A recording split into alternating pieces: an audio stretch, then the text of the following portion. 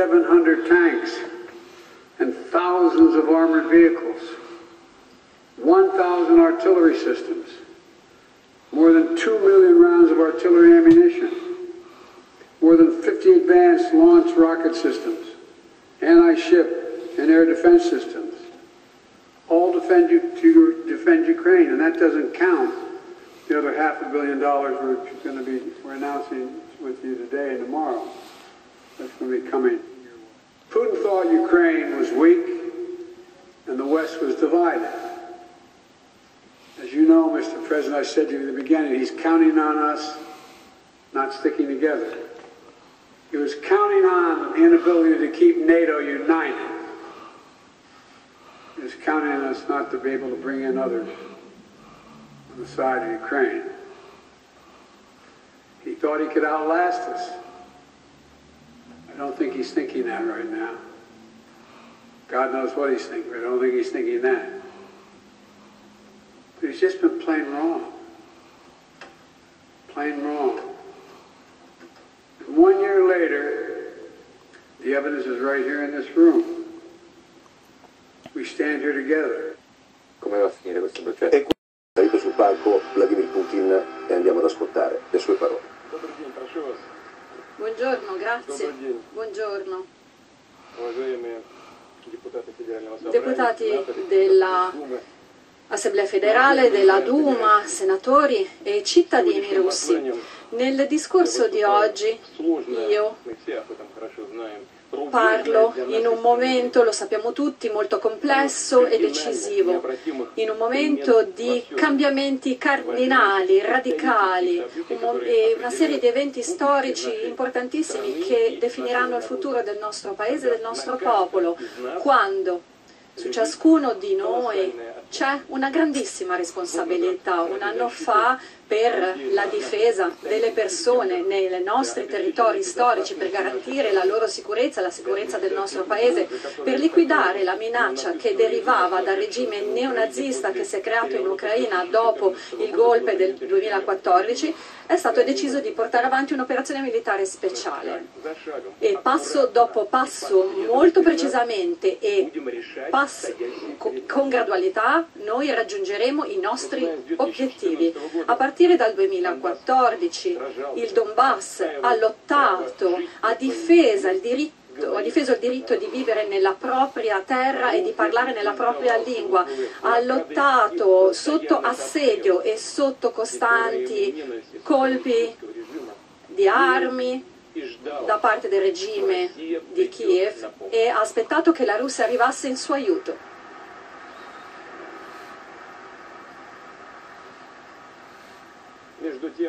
Tra l'altro, e voi lo sapete bene, abbiamo fatto tutto quanto possibile, davvero tutto quanto possibile, per risolvere questo problema in maniera pacifica, in maniera molto paziente. Abbiamo condotto avanti trattative su questo conflitto pesantissimo, però dietro la nostra schiena si stava preparando tutto un altro scenario.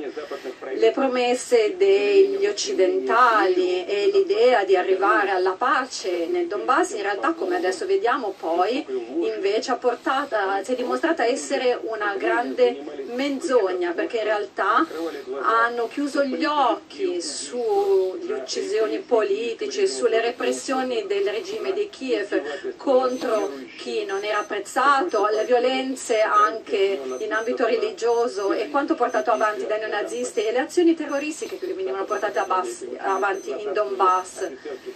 E di fatto c'erano battaglioni tenenti ufficiali che portavano avanti ba- combattimenti con le armi. Voglio dire che prima dell'inizio dell'operazione militare speciale abbiamo anche portato avanti delle trattative con Kiev. Eh, già allora c'erano trattative per fornire a Kiev missili, difesa antimissilistica, difesa antiaerea e così via. Sappiamo che Kiev aveva anche chiesto di ricevere armi nucleari e l'ha detto chiaramente. Gli Stati Uniti e la Nato hanno portato avanti sempre più rapidamente lungo il nostro confine, hanno, hanno installato nuove basi, aveva- hanno avuto laboratori biologici e hanno di fatto installato il teatro per future azioni belliche, per portare avanti un atteggiamento imperiale e avvicinare l'Ucraina ad una grande guerra. Ed oggi lo riconoscono, lo riconoscono pubblicamente. e non se ne vergognano neanche e di fatto parlano ancora degli accordi di Kiev, del formato Normandia,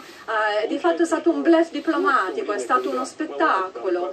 E in realtà, mentre scorreva il sangue in Donbass, mentre la Russia, molto sinceramente, voglio dirlo chiaramente, molto sinceramente noi abbiamo cercato una via pacifica, mentre l'Occidente giocava con le vite delle persone e davvero giocava con carte truccate. Ed è un bruttissimo modo di gestire le cose con inganno e anche si sono comportati in maniera assolutamente ipocrita, come avevano fatto in Jugoslavia, in Libia, in Siria, in Iraq e così via. E non lo ammettono mai, non ammettono mai questa vergogna. Non è per loro essere onesti, loro puntano all'imperialismo, all'egemonia, per raggiungerlo questo tutto è possibile, tutto è accettabile. E anche loro si rivolgono anche ai popoli dei loro paesi che hanno comunque ingannato loro stessi nella, parlando che cercavano la pace anche all'interno del Consiglio di sicurezza. Sicuramente, effettivamente. In realtà tutto questo si è rivelato una menzogna da parte dell'Occidente. e loro difendono non soltanto i propri interessi, ma oggi noi dobbiamo capire che il mondo moderno non può essere diviso fra quelli che vengono chiamati paesi civilizzati e tutti gli altri, che è necessaria una partnership sincera. Noi siamo stati aperti, sinceri e pronti ad un dialogo costruttivo con l'Occidente. Abbiamo detto, abbiamo insistito affinché l'Europa e tutto il mondo, dicendo che tutto il mondo aveva bisogno di un sistema di sicurezza equo e, e paritario, indivisibile. E, eravamo pronti con i nostri partner a discutere di questa idea, pronti a realizzare questa idea, ma in realtà abbiamo ricevuto eh, delle reazioni o negative o ipocrite e eravamo pronti a farlo e in realtà la loro idea era quella di ampliare la Nato verso i nostri confini, creare anche una situazione, una- un, sistema di ehm, eh, difesa antimissilistica, una sorta di ombrello che coprisse eh, Asia ed Europa. E voglio sottolineare che effettivamente lo sanno tutti, nessun paese al mondo ha il numero di basi militari quanti hanno gli Stati Uniti. Sono centinaia, centinaia le basi militari degli Stati Uniti nel mondo, tutto il pianeta è pieno di queste basi, basta guardare la cartina e tutto il mondo testimonia, ha visto come, partiti, come hanno violato diversi eh, accordi anche sulle armi missilistiche, sulle sull'arma nucleare, hanno anche violato gli accordi che davvero mantenevano la pace sul pianeta. Eh, semplicemente loro fanno così e poi a dicembre del 2021 abbiamo mandato alla Nato e agli Stati Uniti un accordo eh, per le garanzie di sicurezza, una bozza di accordo per le garanzie di sicurezza eh, con le posizioni principali, fondamentali per noi e abbiamo ricevuto un rifiuto diretto. E allora eh, abbiamo capito in via definitiva che la Nato aveva dei piani aggressivi e che non avevano nessuna intenzione di fermarsi, la minaccia è cresciuta giorno dopo giorno, arrivavano anche informazioni e avevamo- non avevamo dubbi che a febbraio tutto era pronto per delle azioni punitive nel Donbass contro le quali, vi ricordo, Kiev già dal 2014 aveva anche scagliato artiglieria, carri armati, eh, bombardamenti mi ricor- ci ricordiamo tutti che colpivano il Donbass, eh, eh, ci sono stati bombardamenti non soltanto in, cioè in moltissime città. E si è deciso poi di, avere- di fare quindi un attacco diretto nel Donbass con assedi, terrorismo, eh, intimidazioni per i cittadini e questo era in assoluta contraddizione con eh, quello che era stato deciso al Consiglio di sicurezza dell'ONU e della risoluzione dell'ONU, completamente, era assolutamente in contraddizione. E voglio, questo, voglio ripeterlo, sono stati loro a far cominciare la guerra. Noi abbiamo utilizzato e utilizziamo la forza per fermare la guerra.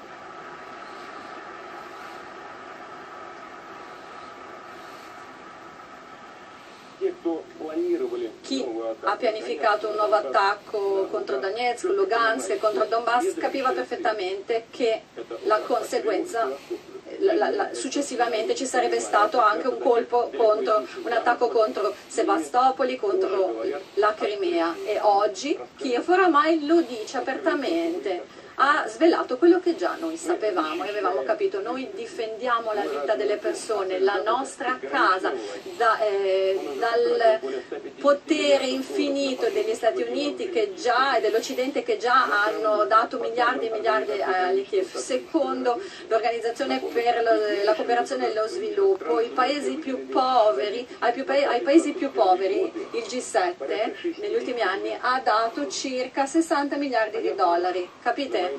Alla guerra 150 miliardi di dollari, ai paesi più poveri che dicono di, sempre di, di cui dicono di prendere sicura 60 e quindi qui ve- e, e quindi si parla della lotta alla povertà, dello sviluppo sostenibile, dell'ecologia. Dove è finito tutto questo? Dove sono finite tutte queste discussioni?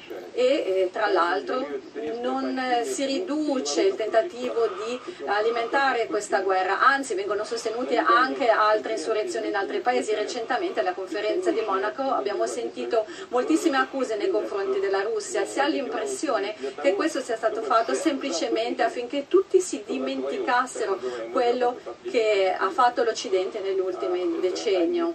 Sono loro che eh, hanno scatenato caos in moltissime regioni e a causa di molte guerre gli americani sono gli stessi gli americani che danno determinate cifre dopo il 2001 sono morte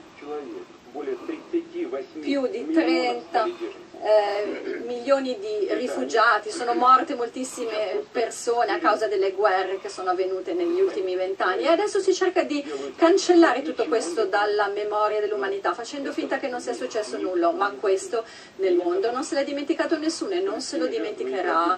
Eh, le vittime e le tragedie eh, che non si assolutamente non, non vengono dimenticate da noi perché ci sono spesso ci, L'Occidente si nasconde dietro parole di democrazia, ma in realtà porta avanti eh, valori totalitari.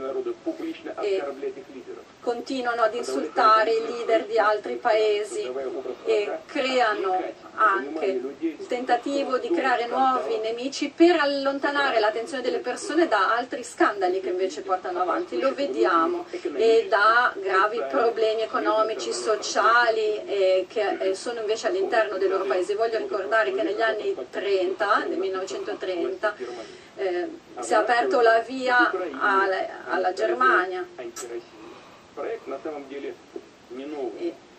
Quindi hanno aperto la via alla, alla Germania nazista affinché sviluppasse. si sviluppasse e quest'anno lo hanno fatto con l'Ucraina. Questa è storia, chi conosce la storia sa che questo risale quindi al XIX secolo, al periodo anche dell'impero austro-ingarico e questo aveva come unico obiettivo quello di separare i territori dai legami storici con altri paesi. Non c'è nulla di nuovo, tutto si sta ripetendo, la storia continua a ripetersi. E nel sostenere, hanno sostenuto il golpe del 2014 e questo è stato un golpe sanguinoso, anticostituzionale, antistatale e fanno come se non fosse accaduto nulla e anzi ci è stato detto quanto denaro abbiano speso per quel golpe. Le basi ideologiche erano semplicemente russofobia ed è una vergogna anche semplicemente dire che uno membri dell'esercito ucraino.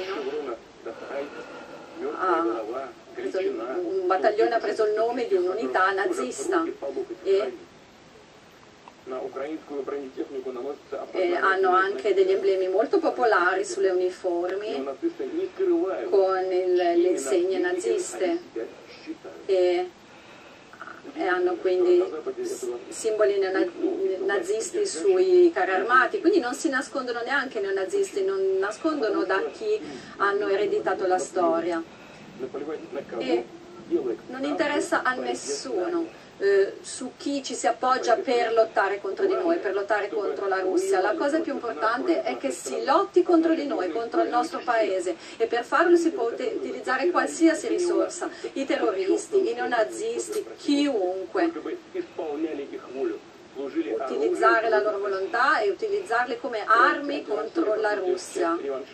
E quindi di fatto si porta avanti una politica revanchista contro il nostro paese per creare dei focolari di instabilità e, e di, ehm, insta- vicino ai nostri confini. E quindi sia l'anno scorso sia oggi l'idea è sempre quella, unica, un'aggressione verso Oriente, portare avanti una guerra in Europa con altre mani, mani di altri, per eliminare la concorrenza. Noi non lottiamo contro il popolo ucraino, l'ho già detto molte volte, il popolo ucraino è un ostaggio invece del regime eh, che di fatto l'Occidente ha occupato questo paese a livello politico, militare ed economico.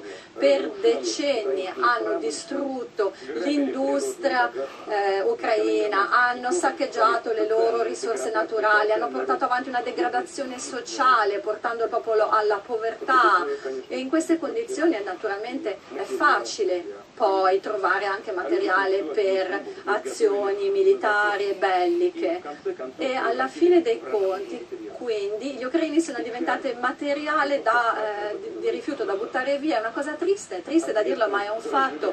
E la responsabilità per il conflitto in Ucraina è completamente sulle spalle dell'elite occidentale, naturalmente anche sul regime odierno di Kiev, eh, che di fatto è, un, è estraneo. Il, regino, il regime di oggi non fa gli interessi nazionali, ma fa gli interessi di paesi terzi. L'Occidente utilizza l'Ucraina come un poligono, come una piazza d'armi contro la Russia.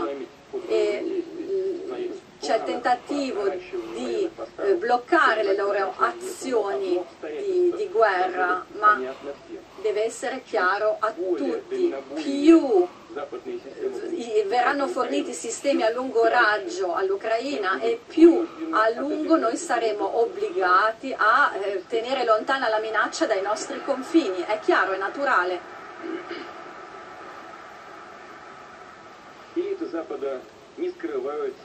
E l'Occidente non nasconde i propri obiettivi, portare la Russia ad una sconfitta strategica, lo dicono direttamente. Che cosa significa? Cosa significa per noi? Significa eliminarci per sempre, ossia hanno l'obiettivo di trasformare un, loca- un conflitto locale in una fase di contrapposizione globale e, e noi capiamo chiaramente tutto questo e di conseguenza noi reagiremo. Perché in questo caso noi parliamo dell'esistenza stessa del nostro paese.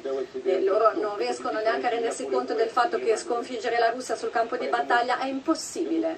E quindi contro di noi portano avanti anche attacchi informatici sempre più aggressivi con l'obiettivo ovviamente di colpire le generazioni più giovani. E qui di nuovo è una- qualcosa di costante e torniamo ai fatti storici, c'è stato un attacco alla nostra cultura, alla Chiesa ortodossa, alla nostra lingua, ad altre organizzazioni religiose nel nostro paese. Guardate che cosa fanno con i propri stessi popoli, distruggendo le famiglie, l'identità culturale nazionale e con violenze e deridendo anche la, la- la pedofilia e altre, eh, e altri mm, aspetti simili diventano la norma e questo ovviamente per carità che facciano quello che vogliono da loro, ma eh, hanno, le persone adulte hanno il diritto di vivere come vogliono, l'abbiamo sempre detto anche noi in Russia, nessuno non interferisce con la vita privata delle persone, non abbiamo intenzione di farlo. Ma voglio dirgli però guardate, guardate però che cosa sta succedendo a tutte le altre, in tutte le altre religioni del mondo. È tutto detto chiaramente che in ogni, in ogni religione che una famiglia è l'unione di un uomo e di una donna. Но и эти священные eh, i testi sacri, le scritture sacre, oggi vengono messe in dubbio.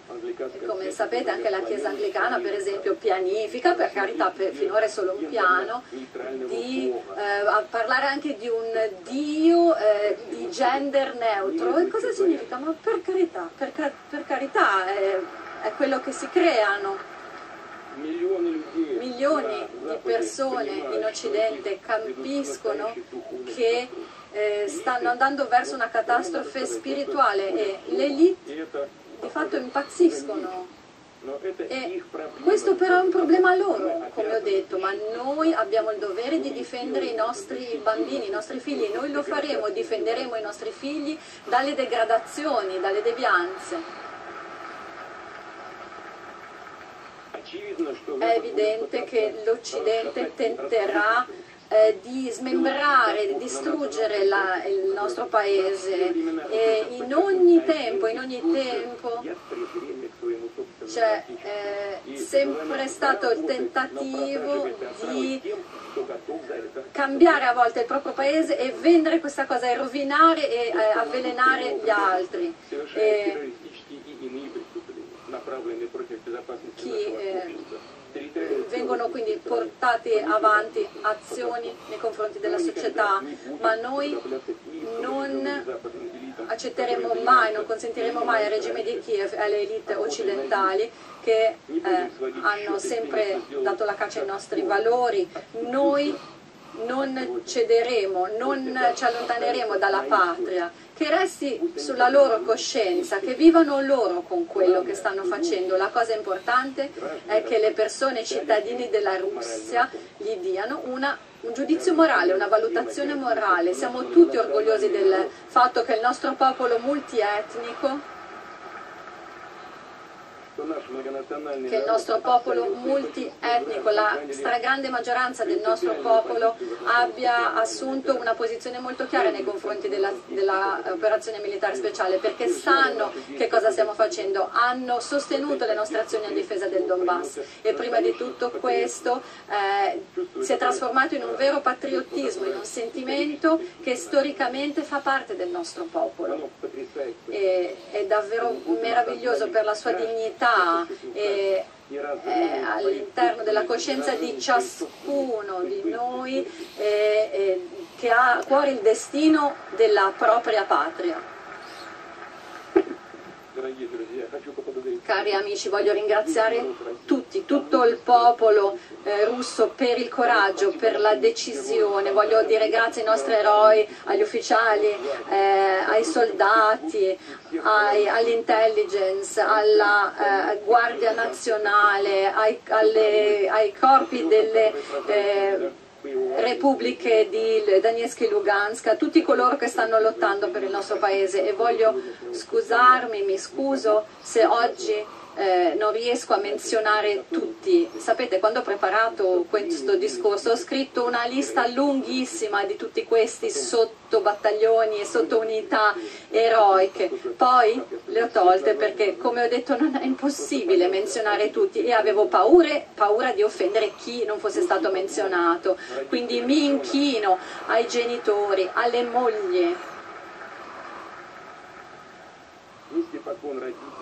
mi inchino ai genitori, alle mogli, a tutte le famiglie dei nostri eh, soldati, ai ai paramedici, agli infermieri, ai, ai, ai, ai, guidatori che portano approvvigionamenti, a tutti coloro che forniscono alloggi, attrezzature, a coloro che lavorano nell'industria della difesa e bellica, che stanno lavorando 24 ore su 24 su diversi turni. Voglio ringraziare tutti i lavoratori che garantiscono alimenta- i prodotti alimentari per la sicurezza del Paese.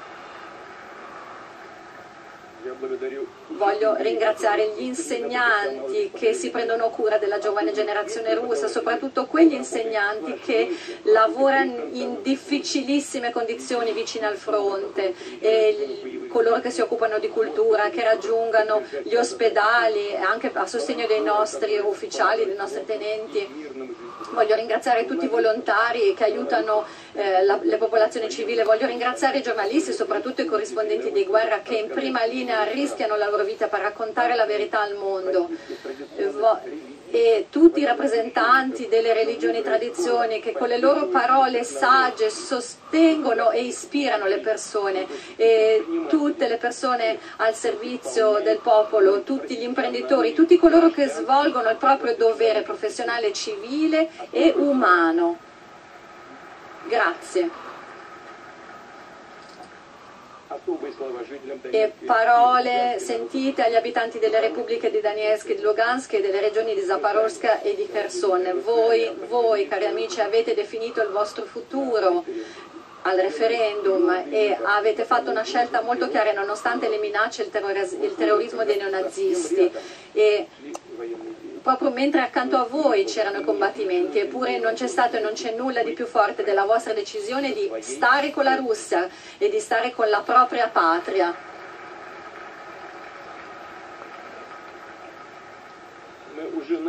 Abbiamo già iniziato e continueremo a sostenere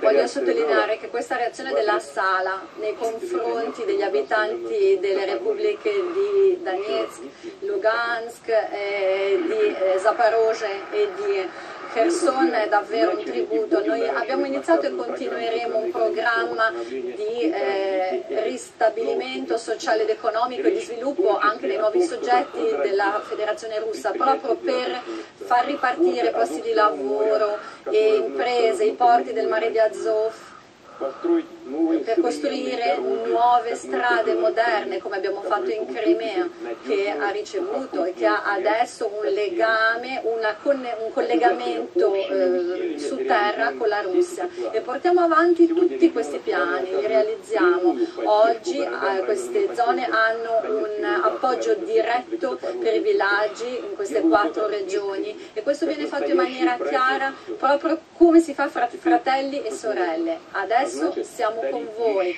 e adesso siete diventati ancora più forti e faremo di tutto perché su questo nostro territorio torni la pace, perché sia garantita la sicurezza in questi nostri territori storici.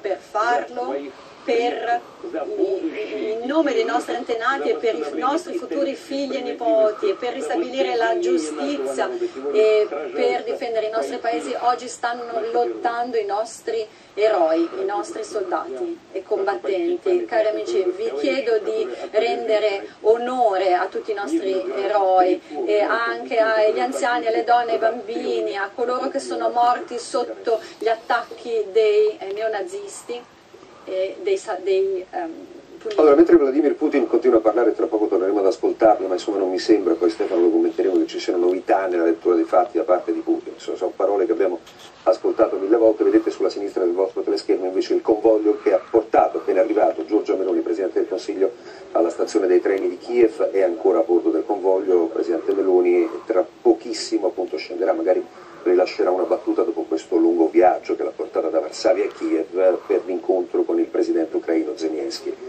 Vladimir Putin e Stefano, insomma mi sembra, dicevamo a microfoni spenti, probabilmente utile solamente per una parte almeno della sua opinione pubblica. Sì, è un discorso rivolto esclusivamente ai cittadini russi, all'opinione pubblica, alla quale Putin sta vendendo nuovamente la sua retorica, la sua narrazione in cui rovescia la realtà parla di una minaccia dell'Occidente contro la Russia, addirittura l'esistenza della Russia è in pericolo per questo attacco della Nato, per questo attacco dell'Occidente, quindi proprio un rovesciamento della, della, della verità. E c'è un passaggio che trovo abbastanza eh, inquietante perché lui dice se l'Occidente continuerà a dare armi, a, se comincerà a dare armi a lungo raggio, noi saremo obbligati a tenere lontana la minaccia dai nostri confini e dovremo oh, reagire, non cederemo, sconfiggere la Russia sul terreno è impossibile.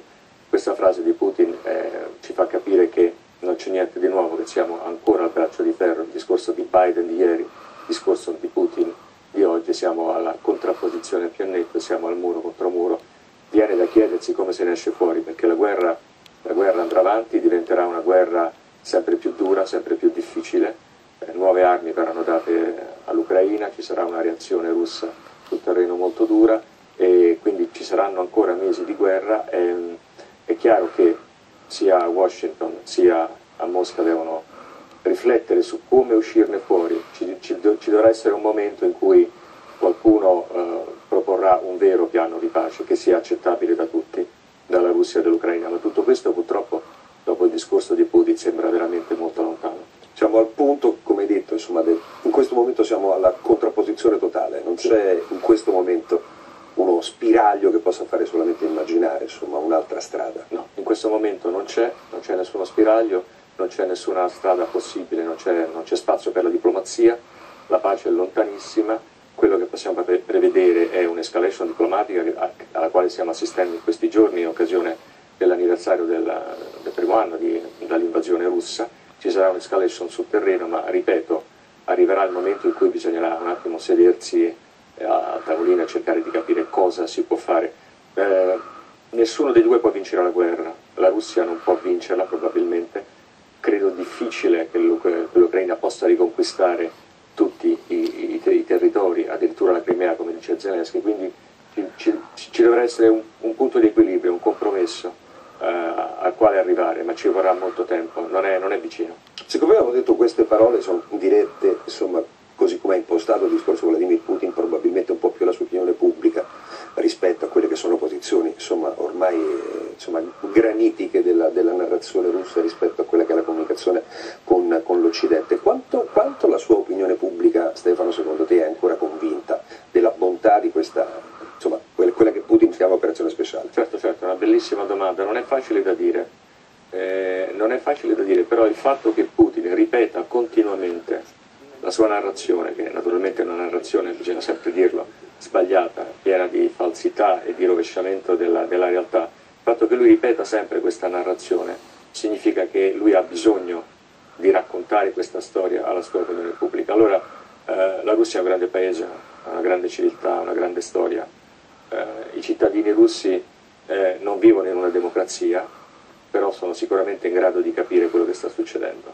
Eh, ci sono molti morti, eh, molti soldati russi sono morti, eh, le bare tornano a casa e quindi i russi hanno cominciato già da tempo a capire quello che sta succedendo davvero eh, in Ucraina. Poi il passaggio da questa fase a un tipo di reazione dell'opinione pubblica è tutta un'altra storia.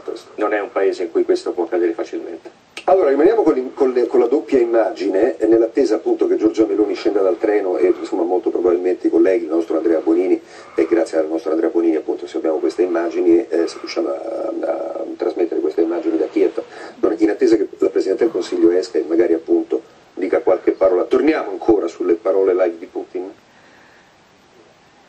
Una volta ogni sei mesi ehm, affinché ogni combattente abbia la possibilità di passare del tempo con la propria famiglia, stare con i propri cari per un certo periodo.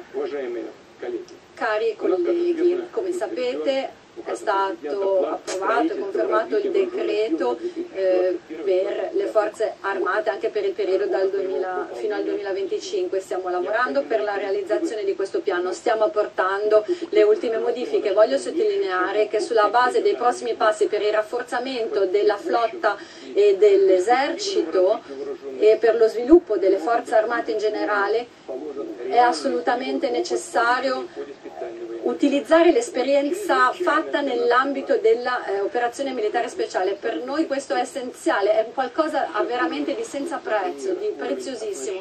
Al momento per esempio anche ehm, abbiamo sistemi di eh, deterrenza nucleare che con la base adesso dell'esperienza fatta nell'ambito dell'operazione militare dobbiamo portare ad un livello ancora più alto di qualità per tutti gli aspetti, per tutte le componenti delle forze armate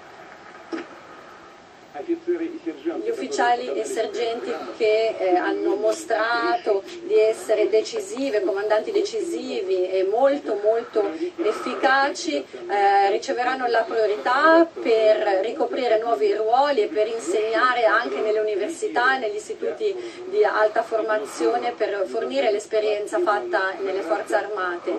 E è necessario che tutti i livelli di potere siano coinvolti, è molto importante, le persone devono comprendere che la patria dà valore al loro sacrificio alla, e, al loro, e a quanto da loro fatto per il Paese introdurremo attivamente tutte le tecnologie più moderne per aumentare la qualità della flotta e dell'esercito. Tutte queste elaborazioni, modelli di tecnica militare già ci sono in ogni ambito, in ogni settore. Molti di questi per le loro caratteristiche sono davvero di molto superiori a quelli presenti all'estero.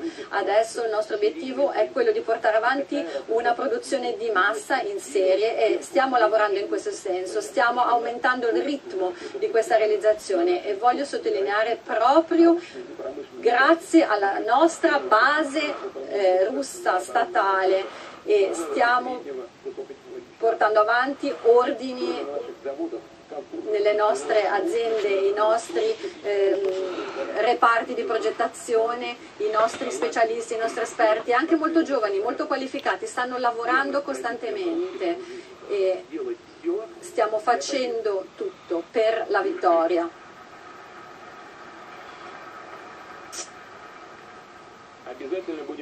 E continueremo a rafforzare anche le garanzie per chi opera in questo settore, sia dal punto di vista del reddito sia dal punto di vista pensionistico e propongo di far partire un programma anche eh, di sostegno degli alloggi. Eh, quindi per questo personale eh, gli interessi saranno più bassi e sarà lo Stato a coprire parte delle spese per affitti e alloggi. E abbiamo anche discusso già di questo e quindi chiedo, vi chiedo di sviluppare tutti i dettagli di questo programma e di e di cominciare a costruire tutti questi alloggi innanzitutto nelle città dove l'industria eh, bellica e della difesa è particolarmente attiva. Cari colleghi, come ho già detto, l'Occidente ha lanciato contro di noi non soltanto una guerra militare, un fronte militare informatico, eh, ma nessun, in nessun caso è riuscito ad ottenere qualcosa e nulla riuscirà ad ottenere. Inoltre, chi ha eh, imposto sanzioni ha provocato una crescita dei prezzi, perdite di posti di lavoro nei suoi stessi paesi, è vittima delle sue stesse decisioni. E ai propri cittadini, lo sentiamo, loro dicono che è colpa di tutto, eh, di tutto è colpevole la Russia. E contro di noi hanno fatto questa aggressione con le sanzioni e hanno cercato di rompere qualunque legame con le aziende russe, chiudere qualunque canale di comunicazione per mettere in, no in ginocchio la nostra economia, hanno chiuso l'accesso al mercato delle esportazioni e e ha anche colpito le nostre riserve valutarie, hanno colpito il rublo e hanno cercato di portare, di, di portare ad un'inflazione devastante. Ripeto, le sanzioni antirusse sono semplicemente un mezzo, ma l'obiettivo, come dicono gli stessi eh, occidentali, ed è una citazione, è obbligare a soffrire i nostri cittadini, obbligare a soffrire, è una citazione diretta. Questi sono i nostri umanisti, vogliono obbligare il nostro popolo a soffrire per destabilizzare la nostra allora, queste le rassicurazioni che Putin dà a Stefano, evidentemente insomma, al proprio popolo sulla linea delle considerazioni che abbiamo fatto prima. Eh, sta per scendere Giorgia Meloni, ovviamente dal convoglio che l'ha portata a Kiev, questa è la stazione di Kiev. Mi, eh, tra poco ti chiederò qual è il senso di questa visita. Noi arriviamo a Kiev, europeo, sappiamo quello che è successo. Eh, continuiamo a sentire Putin e non appena appunto Giorgio Meloni scenderà dal treno faremo qualche considerazione insieme e probabilmente l'andremo anche ad ascoltare se si fermerà. Abbiamo lanciato un pacchetto per il sostegno dell'economia e del business di circa un trilione di rubli e voglio eh, attirare la vostra attenzione. Non è, sono, non è una, di, una, politica di immissione eh, di, eh, di denaro, è stato fatto su base di mercato e in base ai risultati del 2022 il PIL si è abbassato, sì, qui mi hanno telefonato e mi hanno detto beh lo dica lei. Ma che c'è da dire? Proprio ieri è uscita questa informazione e certo non va tutto era previsto un calo dell'economia, vi ricordate di quanto? 20-25%, qualcuno diceva 9, poi hanno iniziato a dire 2,9% quindi il PIL nel 2022 è calato del 2,1%, che è- sono proprio i dati più freschi. E voglio ricordare che a febbraio-marzo dell'anno scorso, come ho già detto, ci avevano previsto un crollo totale dell'economia. Il business russo ha ricostruito la sua logistica e ha eh, trovato partner affidabili, eh, responsabili e ce ne sono molti, anzi sono la maggioranza. Voglio anche dire che la percentuale del rublo russo nei, nostri, nei, nei calcoli internazionali rispetto al 2021 è addirittura raddoppiata, è diventato di un terzo e insieme ai paesi, eh, a noi amici, questo eh, raggiunge più della metà. Noi dobbiamo continuare a lavorare con i nostri partner per garantire un sistema di ehm, calcolo internazionale, fra- intervalutario, affidabile e eh, sicuro, in modo tale che eh, in modo tale che i tentativi che sta facendo l'Occidente di fatto eh, risulti in nulla, lo stanno facendo, fanno, stanno facendo tutto loro, eh, non siamo noi che stiamo modificando il cambio con il dollaro o con le valute universali, stanno facendo tutto loro con le loro mani. E, allora, questa è Giorgio Meloni, Spesso... questo è Giorgio Meloni appena scesa dal treno, lasciamo Putin per qualche istante.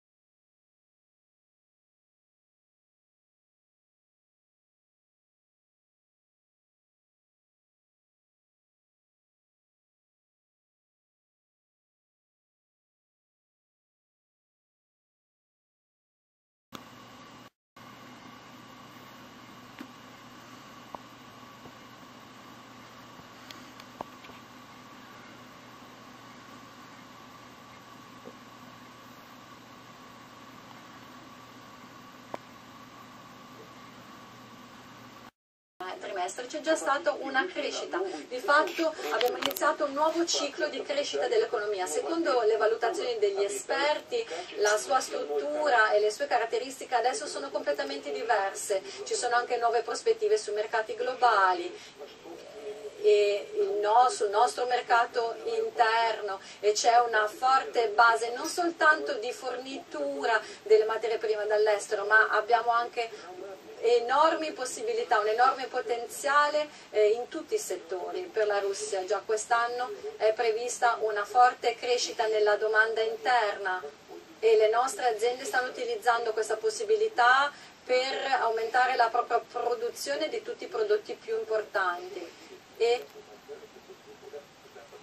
dopo che le aziende occidentali sono andate via, sono aperte e si aprono nuovi spazi. La cartina è cambiata, la carta è cambiata completamente. Ci sono alcuni aspetti da risolvere nel settore della logistica, delle tecnologie, nel settore finanziario, nel settore del personale, eh, del lavoro. Abbiamo parlato tutti della necessità di modificare negli ultimi anni la struttura economica del nostro paese e adesso questi cambiamenti sono assolutamente necessari, vitali e questo cambia la situazione, in questo caso in meglio. Sappiamo che cosa è necessario fare per eh, portare ad uno sviluppo stabile la Russia, un paese sovrano, indipendente, eh, indipendente da qualunque minaccio da qualunque pressione esterna nella difesa della nostra sicurezza e del nostro Stato. Voglio sottolineare in particolare l'obiettivo, il senso del nostro lavoro non è adattarsi alle attuali condizioni, l'obiettivo strategico è quello di portare la nostra economia a nuovi confini. Adesso sta cambiando tutto e cambia molto, molto rapidamente. È il momento non, non soltanto delle sfide, ma anche un momento di possibilità e oggi è davvero così e come sappiamo come noi lo realizziamo, da come noi lo realizzeremo dipende la nostra vita. Dobbiamo eliminare qualunque contraddizione eh, fra diversi dicasteri, qualunque complicazione, tutto deve essere mirato alla operatività, ai risultati e le aziende russe, eh, le, anche le piccole eh, aziende di famiglie familiari stanno aumentando e questa è una vittoria, ci sono nuove strade, questa è una vittoria, nuove scuole, nuove scoperte, nuove tecnologie, questi, tutto questo dà un contributo al nostro eh, successo collettivo.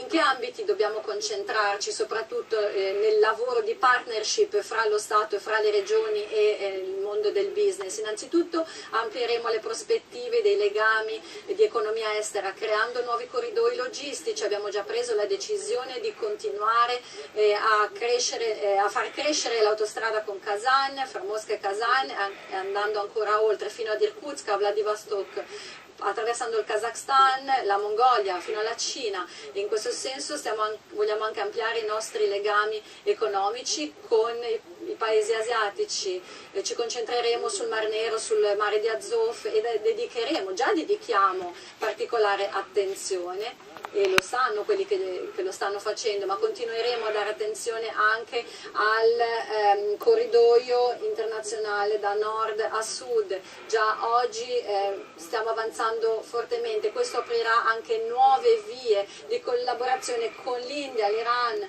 il Pakistan, con tutto il vicino Oriente. Continueremo a sviluppare questi corridoi. Il nostro piano è anche quello di continuare a modernizzare tutte le infrastrutture, le strade, i sistemi di collegamento, la via verso il mare del nord, soprattutto per risolvere e eh, raggiungere tutti gli obiettivi di raggiungimento anche della Siberia e dell'estremo oriente del paese. Continuiamo a sviluppare le, le infrastrutture, incluse anche delle, i, i, collegamenti di telecomunicazioni. Nel 2024 cioè, aspettiamo sempre più strade fra i grandi agglomerati urbani e anche di collegamento fra diversi eh, comuni e diverse eh, città. Tutto questo verrà realizzato.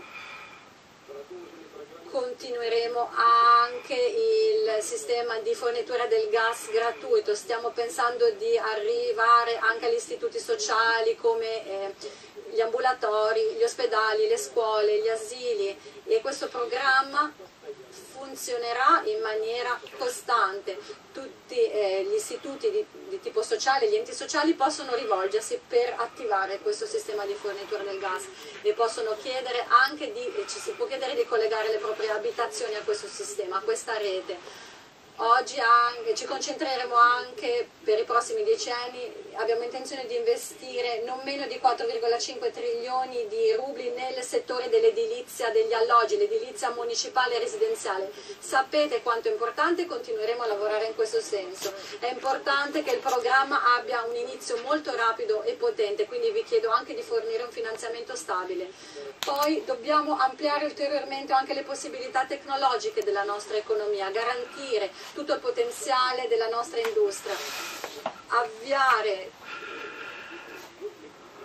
anzi oggi sarà anche possibile fornire dei crediti avvantaggiati non, sa, non, soltanto per acquistare dei terreni ma anche per costruzioni e per ammodernamenti.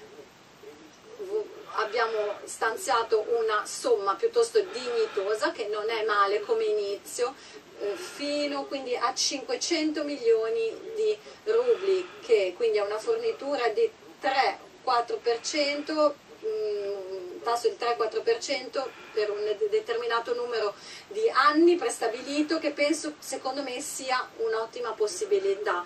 Da quest'anno è anche attivo il nuovo sistema dei cluster industriali che eh, riesce a sollevare a livello fiscale e industriale anche e, e aiuta quindi a ehm, soddisfare anche ordini notevoli e noi abbiamo intenzione entro il 2030 di realizzare tutti i progetti eh, fino ad arrivare a un totale di 10 trilioni di anni, anzi quest'anno ci aspettiamo investimenti in questo senso che potrebbero essere già di 2 trilioni. E questo non è soltanto una previsione ma è già eh, un orientamento ben definito, quindi vi chiedo di accelerare l'inizio di questi progetti e dobbiamo fornire sistemi di appoggio e anche vantaggi e agevolazioni fiscali.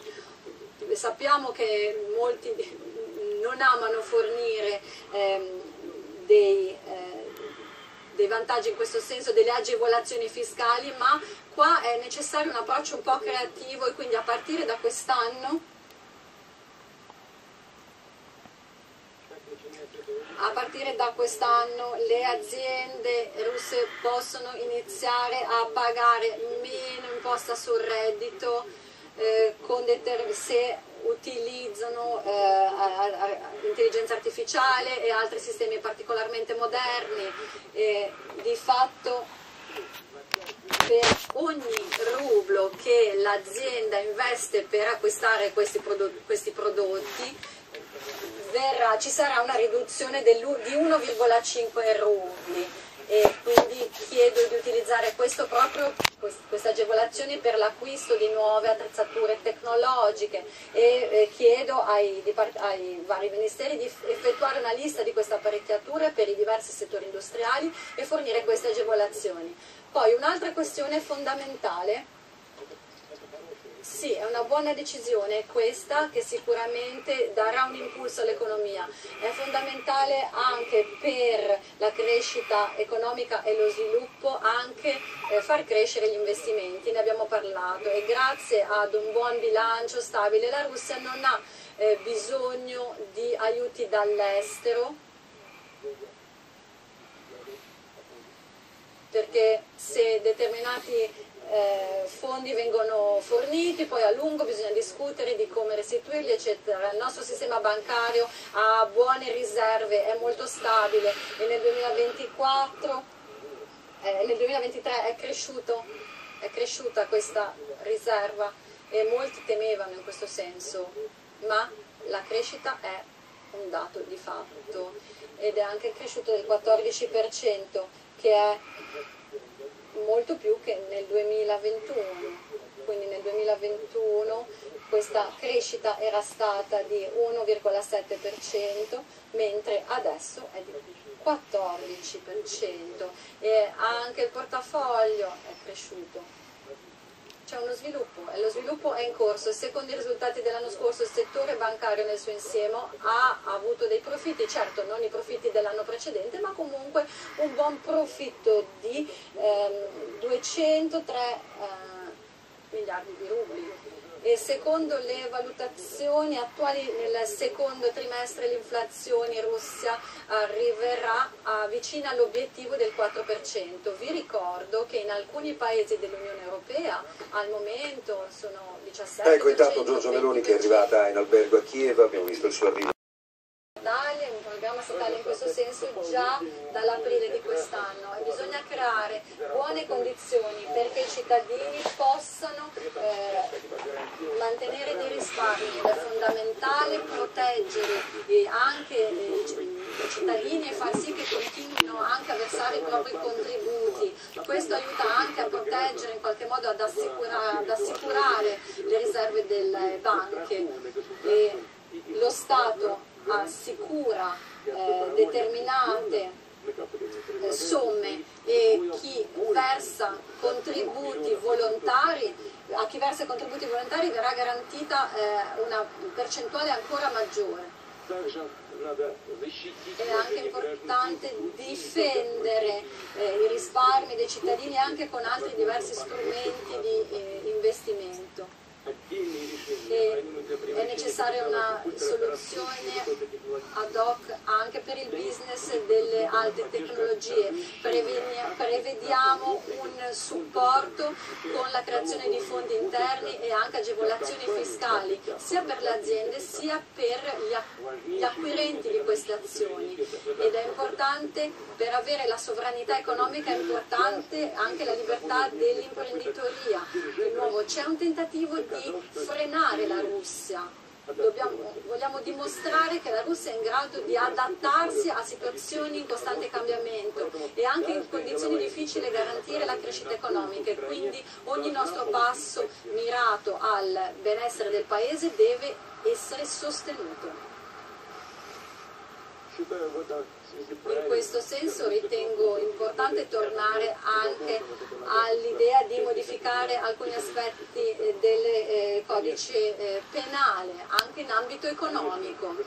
Certo, lo Stato deve controllare che cosa avviene in questa sfera, non si può consentire qualsiasi cosa, ma è anche necessario muoversi verso una decriminalizzazione, considerando che lo Stato insieme al, al governo, al Parlamento, alle forze dell'ordine, a diverse organizzazioni insieme porteranno avanti questo lavoro e poi chiedo anche al governo strettamente in rapporto con il Parlamento di intraprendere ulteriori misure che consentano di accelerare anche la de-offshoreizzazione dell'economia.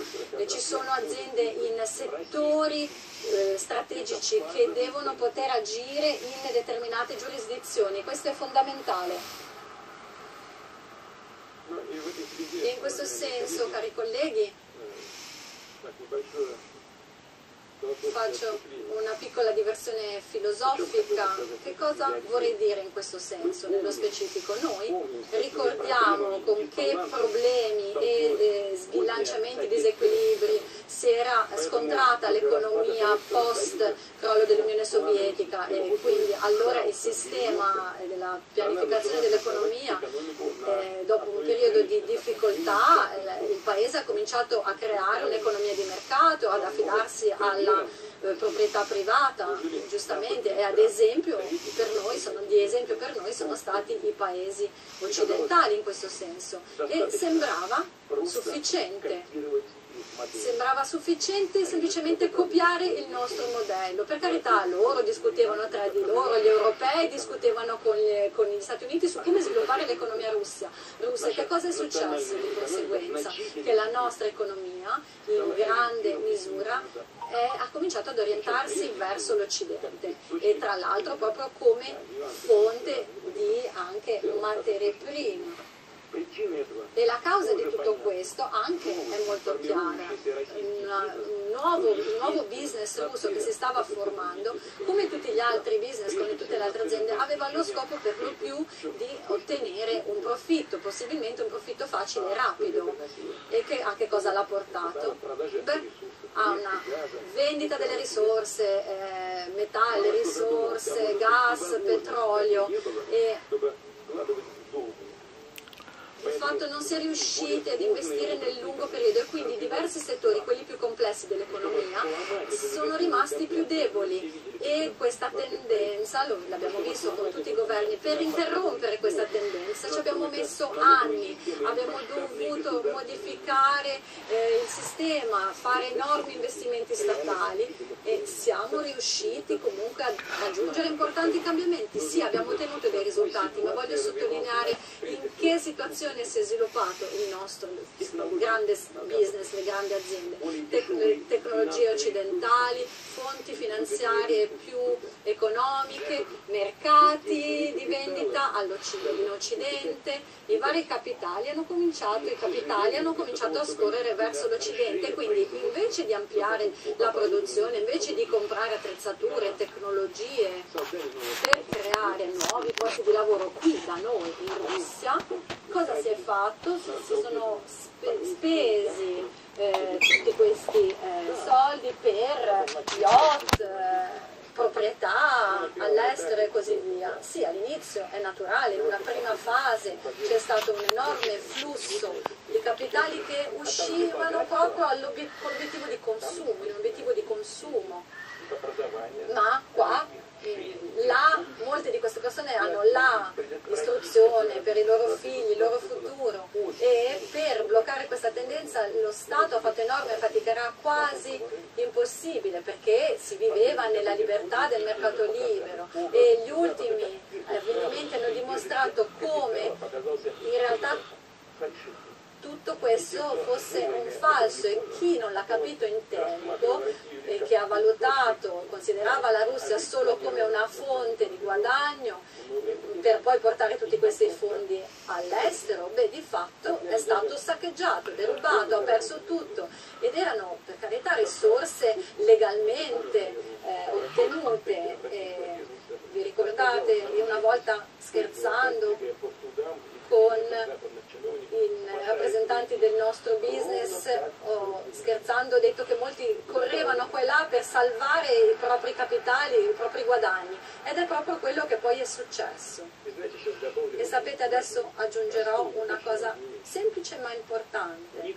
Nessuno dei semplici cittadini del paese si è pentito o, o è dispiaciuto di aver perso chi ha buttato i suoi capitali all'estero, chi l'ha portati al- in Occidente. Nessuno è dispiaciuto per chi si è comprato yacht e palazzi all'estero, mentre parlando in cucina le persone forse si ricordano sia la privatizzazione degli anni 90 quando le imprese create e anche questo lusso della cosiddetta nuova elite di quegli anni. Che cosa è davvero fondamentale? Dopo il crollo dell'Unione Sovietica l'Occidente non ha mai smesso di cercare di di sconfiggere la Russia e hanno cercato, eh, ci hanno mandato contro terrorismo internazionale, hanno creato focolai di conflitti regionali, hanno ignorato tutti i nostri tentativi di utilizzare sistemi di eh, trattativa. E il business russo è riuscito a creare enormi collettivi, ha creato una situazione economica stabile, laddove di fatto in quegli anni molti rappresentanti di grandi aziende si trovavano in qualche modo sottoposti dipendenti dai governanti di altri paesi che nei nostri confronti erano aggressivi. E noi tutto questo l'abbiamo considerato un grave rischio ed è un qualche cosa che non poteva essere consentito. Sì, certo, ognuno ha la possibilità di scelta, qualcuno vuole vivere vogliono vivere fino alla propria vita della, eh, fino alla fine della propria vita in un palazzo dove sia in qualche modo sotto eh, arresto con i, i fondi bloccati. È un loro diritto. E quando hanno, hanno, noi dobbiamo però comprendere che per l'Occidente queste persone sono comunque cittadine di seconda categoria, di seconda classe, tutto ciò che hanno acquistato, titoli che hanno acquistato, qui non avranno alcun valore, devono capire che sono cittadini di seconda classe. Ma c'è un'altra scelta, quello di stare con la propria madre patria, di lavorare per il bene dei tuoi compatrioti, non soltanto per aprire aziende, ma per cambiare la vita intorno a noi, in città, paesi e questi imprenditori, questi businessmen sono tanti ed è lì che sta il futuro del nostro business. Tutti devono capire che le fonti di benessere e il futuro dovrebbero essere qui, in Russia.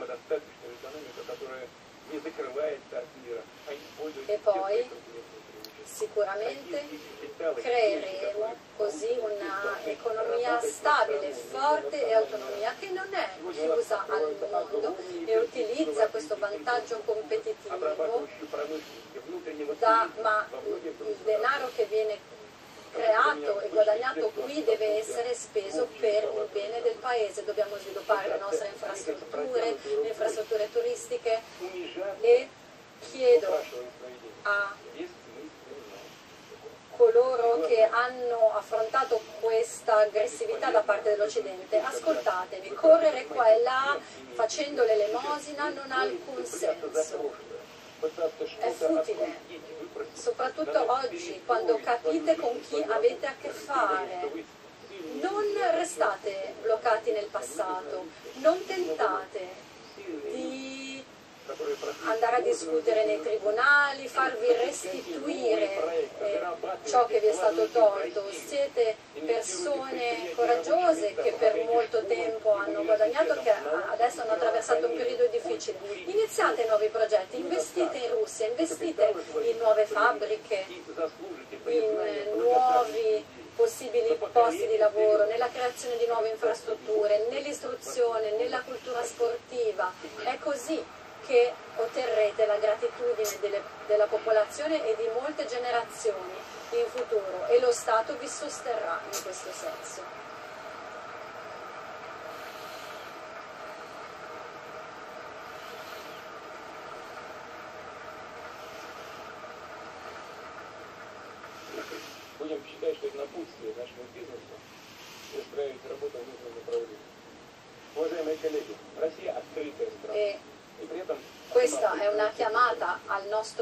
Business di lavorare in una nuova direzione. Cari colleghi, la Russia è un paese aperto ed è una civiltà unica. Non fingiamo di essere speciali, ma questa è la nostra civiltà. E i nostri antenati ci hanno donato questa civiltà e noi dobbiamo passarla alle generazioni future. Continueremo a sviluppare relazioni con i nostri amici, ma innanzitutto noi dobbiamo affidarci al nostro potenziale, alle nostre tradizioni, ai nostri valori. E qui vorrei proprio parlare del carattere del nostro popolo. Siamo sempre stati generosi, compassionevoli e la Russia è un paese che riflette queste qualità, sappiamo come essere amici, come mantenere la parola data e non deludere nessuno, supportare le persone in condizioni difficili, in difficoltà, supportiamo sempre coloro che sono in difficoltà. E ricordate che durante la pandemia, la pandemia abbiamo fornito sostegno ad altri paesi europei, l'Italia e altri paesi europei e eh, abbiamo sostenuto coloro che stavano attraversando il periodo più difficile. Non dimentichiamo come abbiamo aiutato anche eh, adesso eh, in passato, in questo, per questo terremoto in Siria e in Turchia. Il popolo russo, la base della sovranità del nostro popolo è il popolo russo e, ed è un diritto del nostro popolo eh, non essere non essere in qualche modo messo in dubbio, noi non ci allontaneremo da questo modo di essere. E voglio anche enfatizzare che nelle, nelle elezioni eh, locali e nelle elezioni presidenziali del 2024 eh, tutto verrà svolto secondo la legge, seguendo le procedure costituzionali abbiamo diversi approcci per risolvere questioni sociali, tuttavia tutte le forze della società, tutta, tutti devono affidarsi ad alcuni principi fondamentali, sicurezza e interessi, gli interessi nazionali del nostro popolo. Voglio ringraziarvi per questa posizione di grande responsabilità e voglio ricordarvi queste parole dette più di cento anni fa, che ancora però valgono, è stato detto che nella difesa della Russia tutti noi dobbiamo coordinare le nostre forze e i nostri diritti per supportare un diritto supremo e storico, il diritto della, della Russia ad essere forte.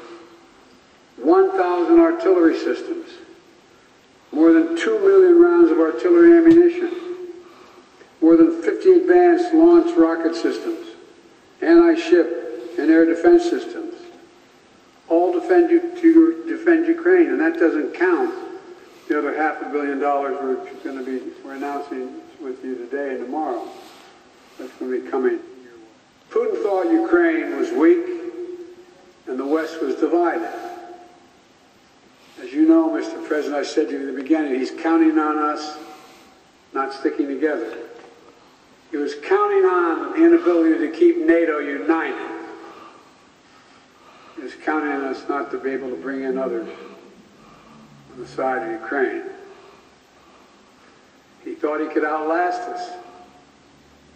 I don't think he's thinking that right now. God knows what he's thinking, but I don't think he's thinking that. But he's just been plain wrong. Plain wrong. And one year later, the evidence is right here in this room. We stand here together. Come va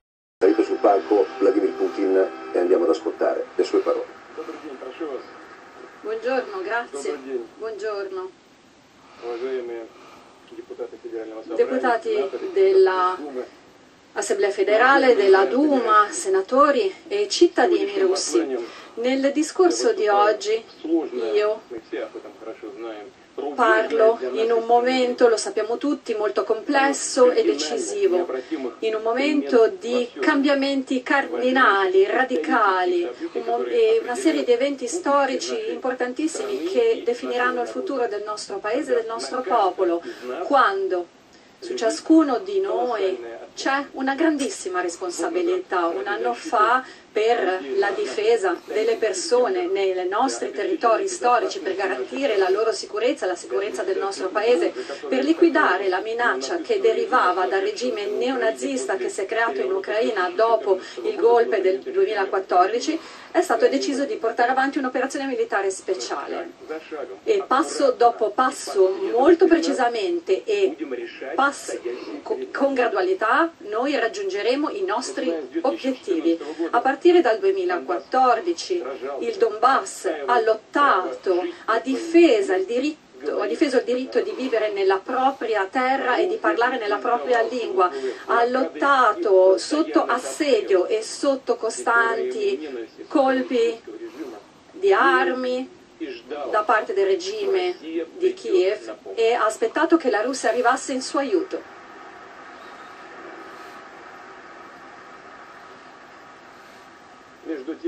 Tra l'altro, e voi lo sapete bene, abbiamo fatto tutto quanto possibile, davvero tutto quanto possibile, per risolvere questo problema in maniera pacifica, in maniera molto paziente. Abbiamo condotto avanti trattative su questo conflitto pesantissimo, però dietro la nostra schiena si stava preparando tutto un altro scenario.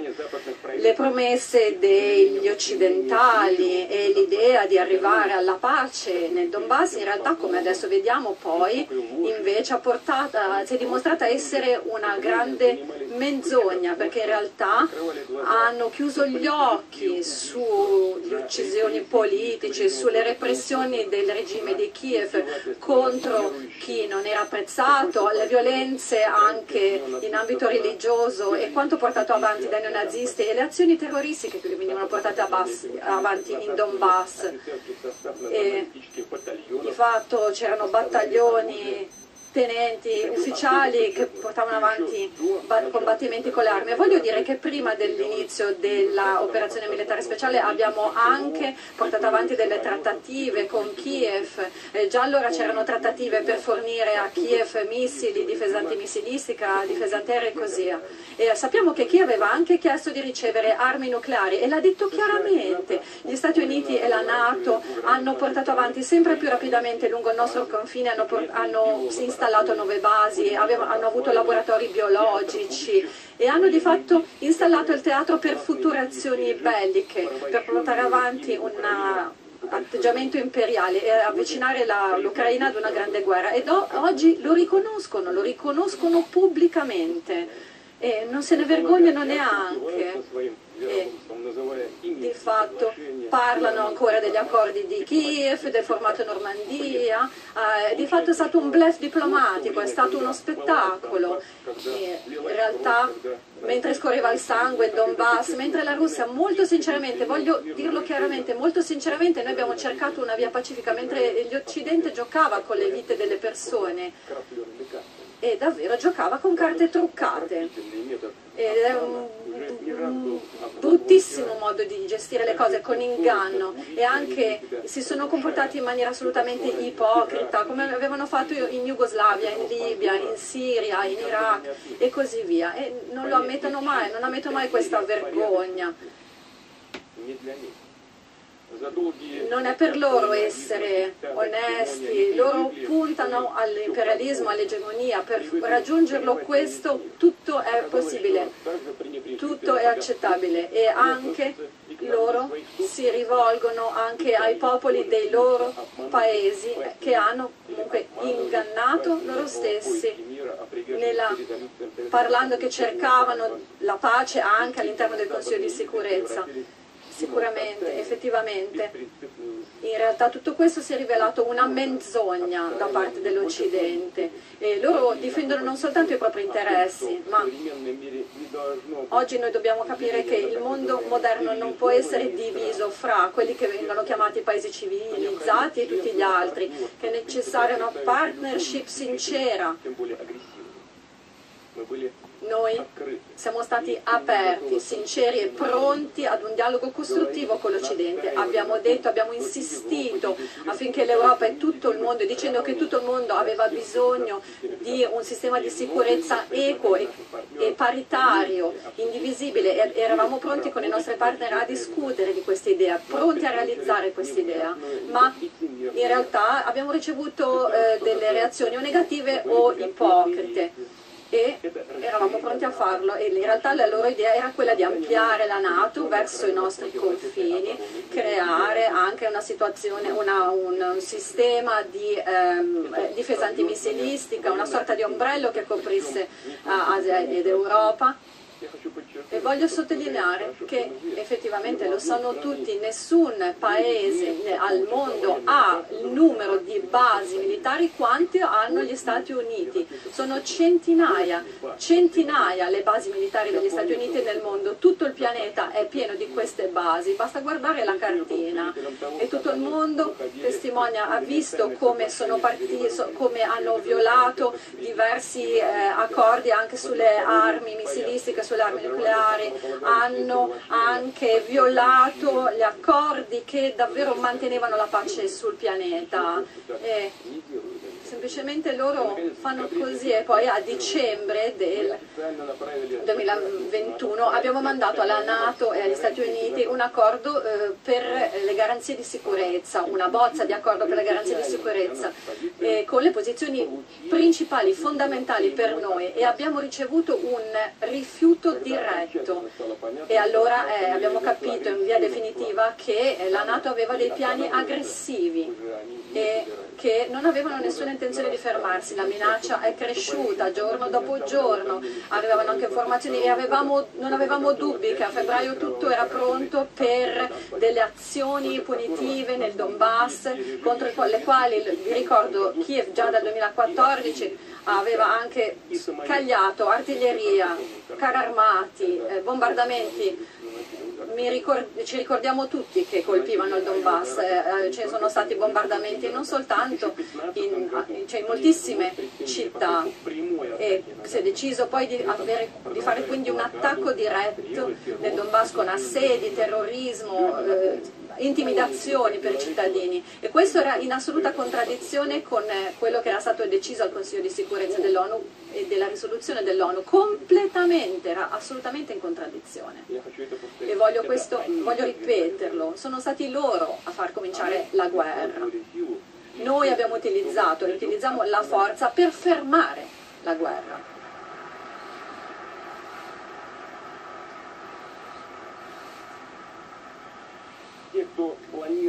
chi ha pianificato un nuovo attacco contro Donetsk, Lugansk e contro Donbass capiva perfettamente che la conseguenza la, la, successivamente ci sarebbe stato anche un colpo contro, un attacco contro Sebastopoli, contro la Crimea. E oggi Kiev oramai lo dice apertamente ha svelato quello che già noi sapevamo e avevamo capito. Noi difendiamo la vita delle persone, la nostra casa da, eh, dal potere infinito degli Stati Uniti già, e dell'Occidente che già hanno dato miliardi e miliardi agli. Secondo l'Organizzazione per la cooperazione e lo sviluppo, i paesi più poveri, ai, più, ai paesi più poveri, il G7 negli ultimi anni ha dato circa 60 miliardi di dollari. Capite? Alla guerra 150 miliardi di dollari ai paesi più poveri che dicono di, sempre di, di, dicono di prendere sicura 60 e quindi qui e, e, quindi si parla della lotta alla povertà, dello sviluppo sostenibile, dell'ecologia. Dove è finito tutto questo? Dove sono finite tutte queste discussioni? E eh, tra l'altro non si riduce il tentativo di alimentare questa guerra, anzi vengono sostenute anche altre insurrezioni in altri paesi. Recentemente alla conferenza di Monaco abbiamo sentito moltissime accuse nei confronti della Russia. Si ha l'impressione che questo sia stato fatto semplicemente affinché tutti si dimenticassero quello che ha fatto l'Occidente nell'ultimo decennio. Sono loro che eh, hanno scatenato caos in moltissime regioni.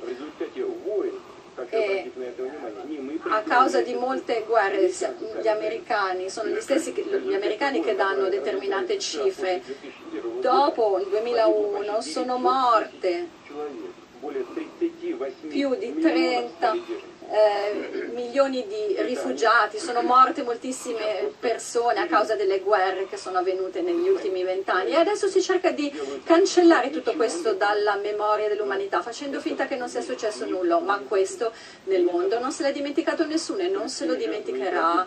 Eh, le vittime e le tragedie eh, che non si assolutamente non, vengono dimenticate da noi perché ci sono spesso l'Occidente si nasconde dietro parole di democrazia ma in realtà porta avanti eh, valori totalitari e continuano ad insultare i leader di altri paesi e creano anche il tentativo di creare nuovi nemici per allontanare l'attenzione delle persone da altri scandali che invece portano avanti. Lo vediamo e da gravi problemi economici, sociali eh, che sono invece all'interno dei loro paesi. Voglio ricordare che negli anni 30, nel 1930, eh, si è aperto la via alla, alla Germania. E quindi hanno aperto la via alla, alla Germania nazista affinché sviluppasse si sviluppasse e quest'anno lo hanno fatto con l'Ucraina. Questa è storia, chi conosce la storia sa che questo risale quindi al XIX secolo, al periodo anche dell'impero austro-ungarico. E questo aveva come unico obiettivo quello di separare i territori dai legami storici con altri paesi. Non c'è nulla di nuovo, tutto si sta ripetendo, la storia continua a ripetersi. E nel sostenere, hanno sostenuto il golpe del 2014 e questo è stato un golpe sanguinoso, anticostituzionale, antistatale e fanno come se non fosse accaduto nulla e anzi ci è stato detto quanto denaro abbiano speso per quel golpe. Le basi ideologiche erano semplicemente russofobia. Ed è una vergogna anche semplicemente dire che uno dei membri dell'esercito ucraino ha preso, un battaglione ha preso il nome di un'unità nazista e, e hanno anche degli emblemi molto popolari sulle uniformi con il, le insegne naziste. e e hanno quindi simboli nazisti sui carri armati, quindi non si nascondono neanche neonazisti, non nascondono da chi hanno ereditato la storia.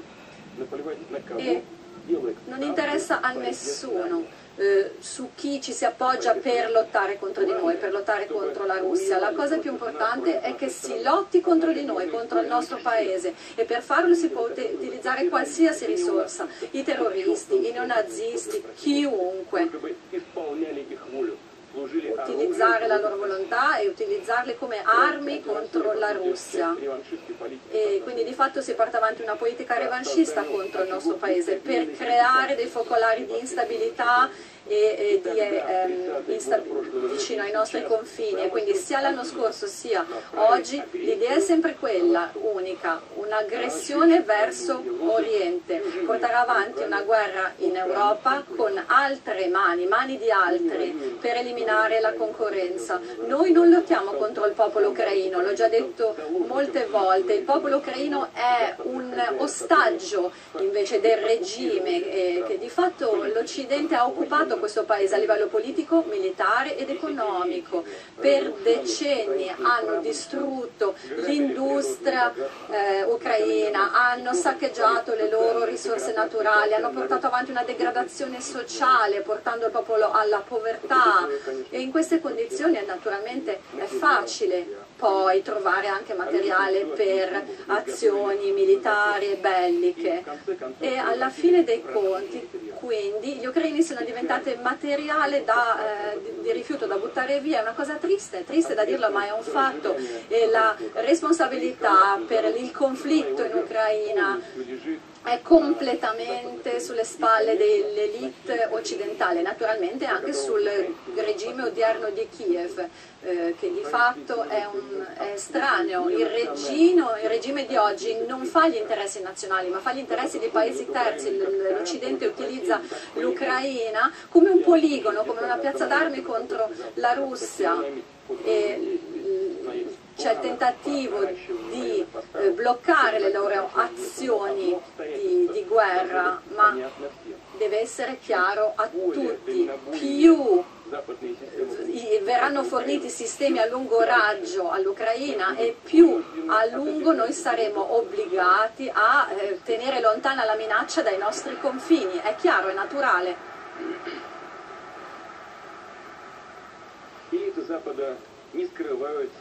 E l'Occidente non nasconde i propri obiettivi, portare la Russia ad una sconfitta strategica, lo dicono direttamente. Che cosa significa? Cosa significa per noi? Significa eliminarci per sempre, ossia hanno l'obiettivo di trasformare un, un conflitto locale in una fase di contrapposizione globale.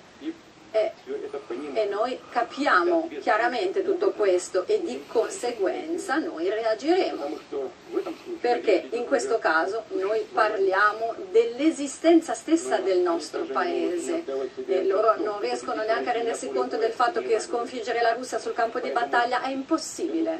E quindi contro di noi portano avanti anche attacchi informatici sempre più aggressivi con l'obiettivo ovviamente di colpire le generazioni più giovani e qui di nuovo è una, qualcosa di costante e torniamo ai fatti storici, c'è stato un attacco alla nostra cultura, alla Chiesa ortodossa, alla nostra lingua, ad altre organizzazioni religiose nel nostro paese. Guardate che cosa fanno con i propri stessi popoli, distruggendo le famiglie, l'identità culturale nazionale e con violenze e deridendo anche la, la, la pedofilia e altre, eh, e altre aspetti simili diventano la norma e questo ovviamente per carità che facciano quello che vogliono da loro, ma gli adulti hanno, le persone adulte hanno il diritto di vivere come vogliono, l'abbiamo sempre detto anche noi in Russia, nessuno non interferisce con la vita privata delle persone, non abbiamo intenzione di farlo.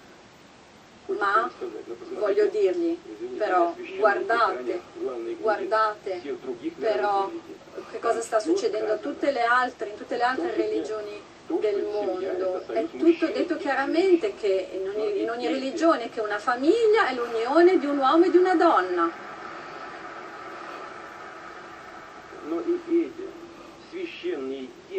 E i testi sacri, le scritture sacre oggi vengono messe in dubbio. E come sapete anche la Chiesa anglicana per esempio pianifica, per carità per, finora è solo un piano, di eh, parlare anche di un Dio eh, di gender neutro. E cosa significa? Ma per carità, per, per carità è, è quello che si creano milioni di persone in Occidente capiscono che eh, stanno andando verso una catastrofe spirituale e le elite di fatto impazziscono. E questo però è un problema loro, come ho detto, ma noi abbiamo il dovere di difendere i nostri bambini, i nostri figli, noi lo faremo, difenderemo i nostri figli dalle degradazioni, dalle devianze. È evidente che l'Occidente tenterà eh, di smembrare, di distruggere la, il nostro paese e in ogni tempo, in ogni tempo c'è eh, sempre stato il tentativo di cambiare a volte il proprio paese e vendere questa cosa e rovinare e eh, avvelenare gli altri. E,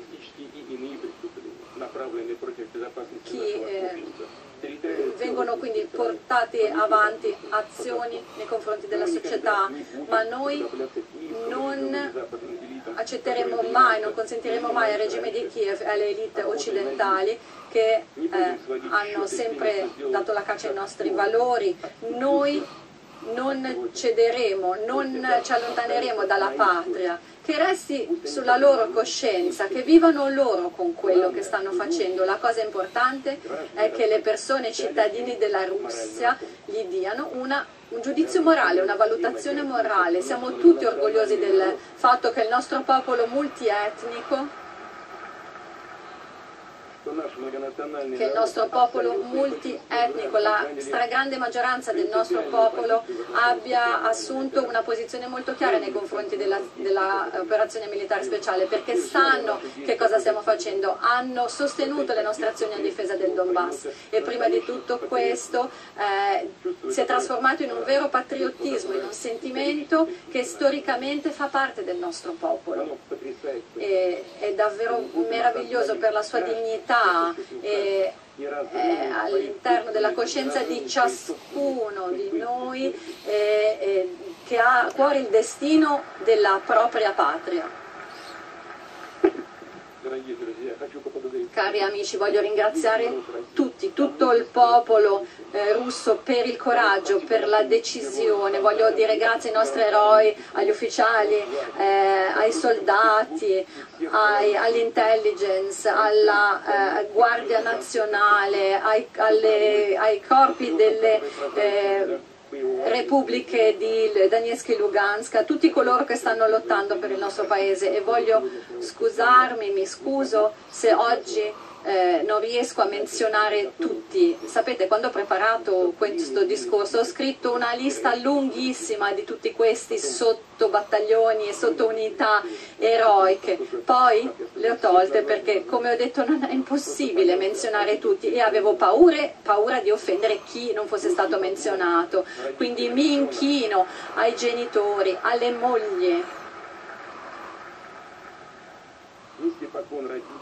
mi inchino ai genitori, alle mogli, a tutte le famiglie dei nostri eh, soldati, ai ai paramedici, agli infermieri, ai, ai, ai, ai, guidatori che portano approvvigionamenti, a tutti coloro che forniscono alloggi, attrezzature, a coloro che lavorano nell'industria della difesa e bellica, che stanno lavorando 24 ore su 24 su diversi turni. Voglio ringraziare tutti i lavoratori che garantiscono alimenta i prodotti alimentari per la sicurezza del Paese.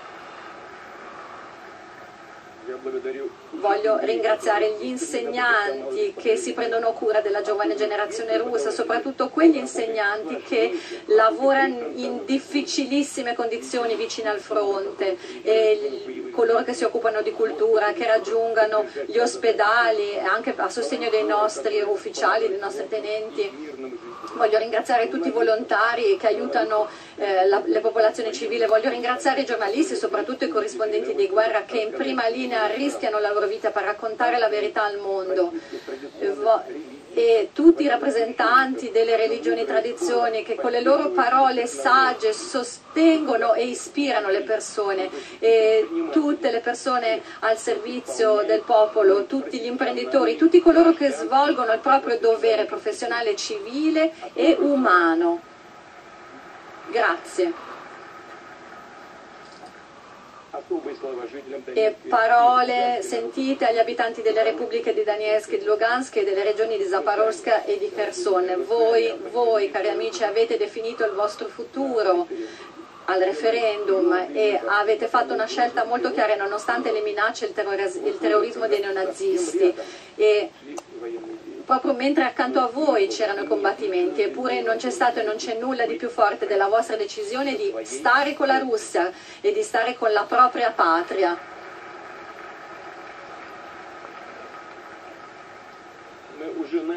Abbiamo già iniziato e continueremo a sostenere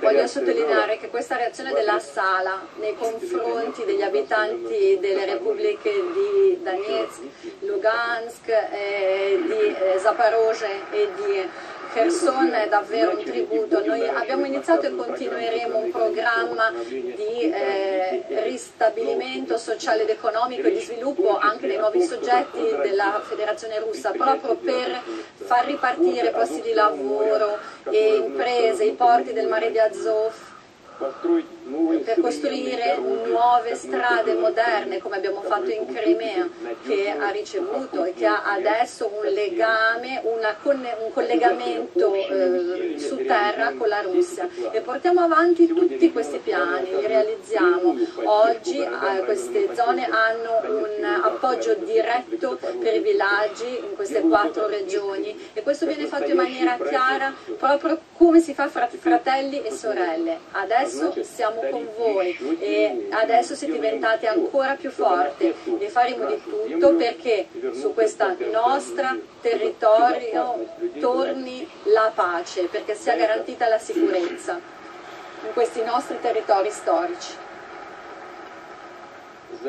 Per farlo per, in nome dei nostri antenati e per i nostri futuri figli e nipoti e per ristabilire la giustizia e per difendere i nostri paesi, oggi stanno lottando i nostri eroi, i nostri soldati e combattenti. Cari amici, vi chiedo di rendere onore a tutti i nostri eroi e anche agli anziani, alle donne, ai bambini, a coloro che sono morti sotto gli attacchi dei eh, dei, dei um, allora, mentre Vladimir Putin continua a parlare, tra poco torneremo ad ascoltarlo, ma insomma non mi sembra, poi Stefano lo commenteremo, che ci siano novità nella lettura dei fatti da parte di Putin. Insomma, sono parole che abbiamo ascoltato mille volte, vedete sulla sinistra del vostro teleschermo invece il convoglio che ha portato, appena arrivato, Giorgio Meloni, Presidente del Consiglio, alla stazione dei treni di Kiev, è ancora a bordo del convoglio, Presidente Meloni tra pochissimo appunto scenderà magari rilascerà una battuta dopo questo lungo viaggio che l'ha portata da Varsavia a Kiev per l'incontro con il presidente ucraino Zelensky. Vladimir Putin e Stefano, insomma mi sembra, dicevamo, a microfoni spenti, probabilmente utile solamente per una parte, almeno della sua opinione pubblica. Sì, è un discorso rivolto esclusivamente ai cittadini russi, all'opinione pubblica, alla quale Putin sta vendendo nuovamente la sua retorica, la sua narrazione in cui rovescia la realtà parla di una minaccia dell'Occidente contro la Russia, addirittura l'esistenza della Russia è in pericolo per questo attacco della Nato, per questo attacco dell'Occidente, quindi proprio un rovesciamento della, della, della verità. E c'è un passaggio che trovo abbastanza eh, inquietante perché lui dice se l'Occidente continuerà a dare armi, eh, se comincerà a dare armi a lungo raggio, noi saremo obbligati a tenere lontana la minaccia dai nostri confini e dovremo oh, reagire, non cederemo, sconfiggere la Russia sul terreno è impossibile.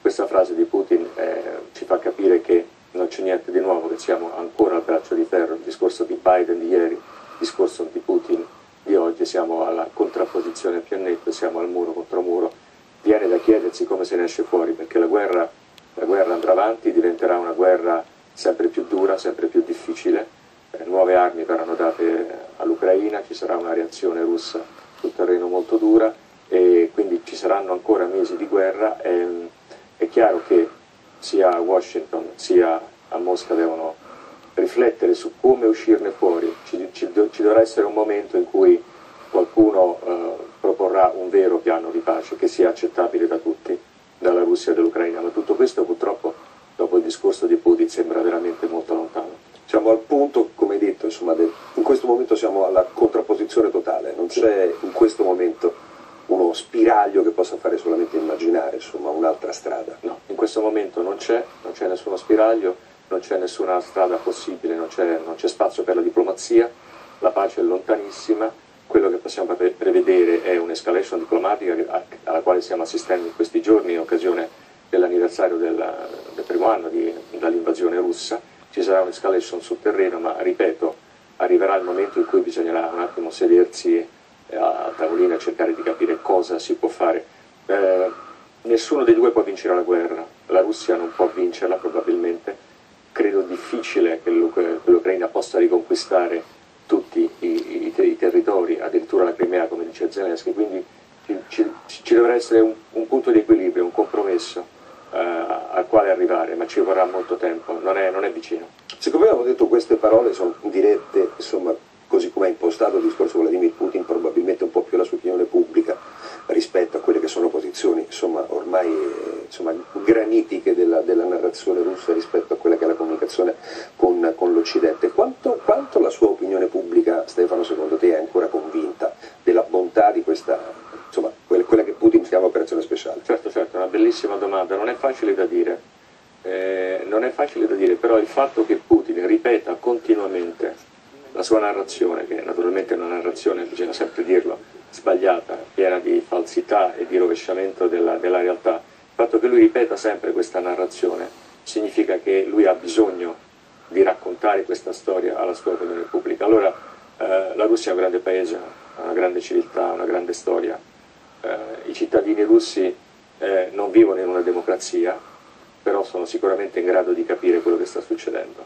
Eh, ci sono molti morti, eh, molti soldati russi sono morti, le bare tornano a casa e quindi i russi hanno cominciato già da tempo a capire quello che sta succedendo davvero in Ucraina. Poi il passaggio da questa fase a un tipo di reazione dell'opinione pubblica è tutta un'altra storia. Non è un paese in cui questo può accadere facilmente. Allora, rimaniamo con, con, le, con, la doppia immagine, nell'attesa appunto che Giorgia Meloni scenda dal treno e insomma molto probabilmente i colleghi, il nostro Andrea Bonini, e grazie al nostro Andrea Bonini appunto se abbiamo queste immagini, eh, se riusciamo a, a, trasmettere queste immagini da Kiev, in attesa che la Presidente del Consiglio esca e magari appunto dica qualche parola. Torniamo ancora sulle parole live di Putin? Una volta ogni sei mesi ehm, affinché ogni combattente abbia la possibilità di passare del tempo con la propria famiglia, stare con i propri cari per un certo periodo. Cari colleghi, come sapete è stato approvato e confermato il decreto eh, per le forze armate anche per il periodo 2000, fino al 2025. Stiamo lavorando per la realizzazione di questo piano, stiamo apportando le ultime modifiche. Voglio sottolineare che sulla base dei prossimi passi per il rafforzamento della flotta e dell'esercito e per lo sviluppo delle forze armate in generale è assolutamente necessario utilizzare l'esperienza fatta nell'ambito dell'operazione eh, militare speciale. Per noi questo è essenziale, è qualcosa veramente di senza prezzo, di preziosissimo. Al momento per esempio anche ehm, abbiamo sistemi di eh, deterrenza nucleare che con la base adesso dell'esperienza fatta nell'ambito dell'operazione militare dobbiamo portare ad un livello ancora più alto di qualità per tutti gli aspetti, per tutte le componenti delle forze armate.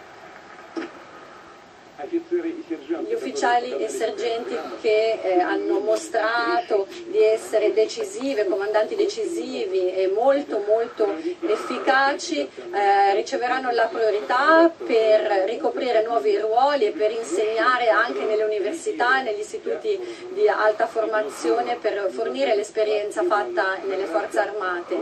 E è necessario che tutti i livelli di potere siano coinvolti, è molto importante, le persone devono comprendere che la patria dà valore al loro sacrificio alla, e, al loro, e a quanto da loro fatto per il Paese introdurremo attivamente tutte le tecnologie più moderne per aumentare la qualità della flotta e dell'esercito. Tutte queste elaborazioni, modelli di tecnica militare già ci sono in ogni ambito, in ogni settore. Molti di questi per le loro caratteristiche sono davvero di molto superiori a quelli presenti all'estero. Adesso il nostro obiettivo è quello di portare avanti una produzione di massa in serie e stiamo lavorando in questo senso, stiamo aumentando il ritmo di questa realizzazione e voglio sottolineare proprio grazie alla nostra base eh, russa statale e stiamo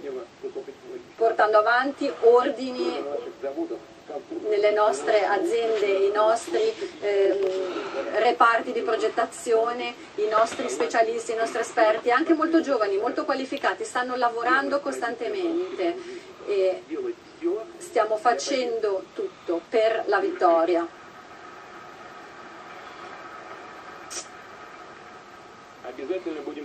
E continueremo a rafforzare anche le garanzie per chi opera in questo settore, sia dal punto di vista del reddito sia dal punto di vista pensionistico. E propongo di far partire un programma anche eh, di sostegno degli alloggi. Eh, quindi per questo personale eh, gli interessi saranno più bassi e sarà lo Stato a coprire parte delle spese per affitti e alloggi. E abbiamo anche discusso già di questo e quindi chiedo, vi chiedo di sviluppare tutti i dettagli di questo programma e di, e di cominciare a costruire tutti questi alloggi innanzitutto nelle città dove l'industria eh, bellica e della difesa è particolarmente attiva. Cari colleghi, come ho già detto, l'Occidente ha lanciato contro di noi non soltanto una guerra militare, un fronte militare informatico, eh, ma nessun, in nessun caso è riuscito ad ottenere qualcosa e nulla riuscirà ad ottenere. Inoltre, chi ha eh, imposto sanzioni ha provocato una crescita dei prezzi, perdite di posti di lavoro nei suoi stessi paesi, è vittima delle sue stesse decisioni. E ai propri cittadini, lo sentiamo, loro dicono che è colpa di tutto, eh, di tutto è colpevole la Russia. E contro di noi hanno fatto questa aggressione con le sanzioni e hanno cercato di rompere qualunque legame con le aziende russe, chiudere qualunque canale di comunicazione per mettere in, no in ginocchio la nostra economia, hanno chiuso l'accesso al mercato delle esportazioni e e ha anche colpito le nostre riserve valutarie, hanno colpito il rublo e hanno cercato di portare, di, di portare ad un'inflazione devastante. Ripeto, le sanzioni antirusse sono semplicemente un mezzo, ma l'obiettivo, come dicono gli stessi eh, occidentali, ed è una citazione, è obbligare a soffrire i nostri cittadini, obbligare a soffrire, è una citazione diretta. Questi sono i nostri umanisti, vogliono obbligare il nostro popolo a soffrire per destabilizzare la nostra allora, queste le rassicurazioni che Putin dà a Stefano, evidentemente insomma, al proprio popolo su, sulla linea delle considerazioni che abbiamo fatto prima. Eh, sta per scendere Giorgia Meloni, ovviamente dal convoglio che l'ha portata a Kiev, questa è la stazione di Kiev. Mi, eh, tra poco ti chiederò qual è il senso di questa visita. Noi arriviamo a Kiev, europeo, sappiamo quello che è successo. Uh, continuiamo a sentire Putin e non appena appunto Giorgio Meloni scenderà dal treno faremo qualche considerazione insieme e probabilmente l'andremo anche ad ascoltare se si fermerà. Abbiamo lanciato un pacchetto per il sostegno dell'economia e del business per circa un trilione di rubli e voglio eh, attirare la vostra attenzione. Non è, sono, non è una, di, una, politica di immissione eh, di, eh, di denaro, è stato fatto su base di mercato e in base ai risultati del 2022 il PIL si è abbassato, sì qui mi hanno telefonato e mi hanno detto beh lo dica lei, ma che c'è da dire? Proprio ieri è uscita questa informazione. E certo non va tutto. Era previsto un calo dell'economia, vi ricordate di quanto? 20-25%, qualcuno diceva 9, poi hanno iniziato a dire 2,9, quindi il PIL nel 2022 è calato del 2,1%, che è, sono proprio i dati più freschi. E voglio ricordare che a febbraio-marzo dell'anno scorso, come ho già detto, ci avevano previsto un crollo totale dell'economia. Il business russo ha ricostruito la sua logistica e ha eh, trovato partner affidabili, eh, responsabili, e ce ne sono molti, anzi sono la maggioranza. Voglio anche dire che la percentuale del rublo russo nei, nostri, nei calcoli internazionali internazionali rispetto al 2021 è addirittura raddoppiato, è diventato di un terzo e insieme ai paesi, eh, a noi amici, questo eh, raggiunge più della metà. Noi dobbiamo continuare a lavorare con i nostri partner per garantire un sistema di eh, calcolo internazionale, fra, intervalutario, affidabile e eh, sicuro, in modo tale che eh, in modo tale che la, le tentativi che sta facendo l'Occidente di fatto eh, risulti in nulla, lo stanno facendo, fanno, stanno facendo tutto loro. eh, non siamo noi che stiamo modificando il cambio con il dollaro o con le valute universali, stanno facendo tutto loro con le loro mani. E allora, questa Giorgia Meloni, Spesso- questa Giorgia Meloni è appena scesa dal treno, lasciamo Putin per qualche istante.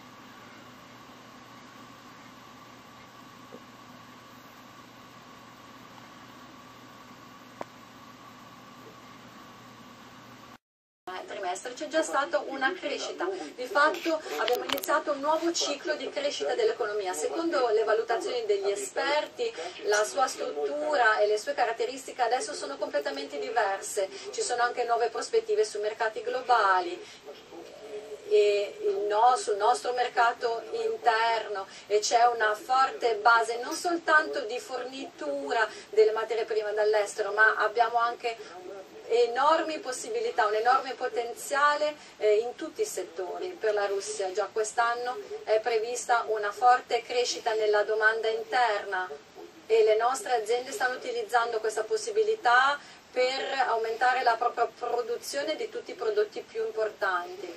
E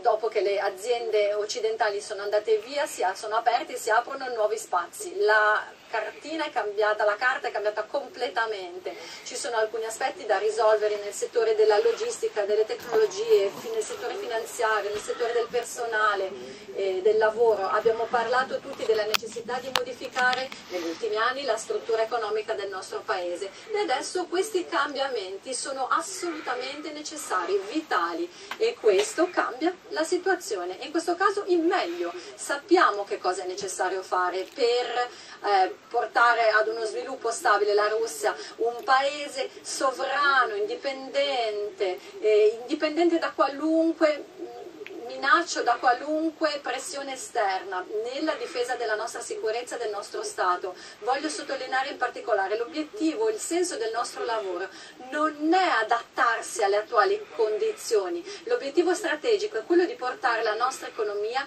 a nuovi confini. Adesso sta cambiando tutto e cambia molto, molto rapidamente. È il momento non, non soltanto delle sfide, ma anche un momento di possibilità e oggi è davvero così e come sappiamo il come noi lo realizziamo, da come noi lo realizzeremo dipende la nostra vita. Dobbiamo eliminare qualunque contraddizione eh, fra diversi dicasteri, qualunque complicazione, tutto deve essere mirato alla operatività, ai risultati e le aziende russe, eh, le, anche le piccole eh, aziende di famiglie le familiari stanno aumentando e questa è una vittoria, ci sono nuove strade, questa è una vittoria, nuove scuole, nuove scoperte, nuove tecnologie, questi, tutto questo dà un contributo al nostro eh, successo collettivo.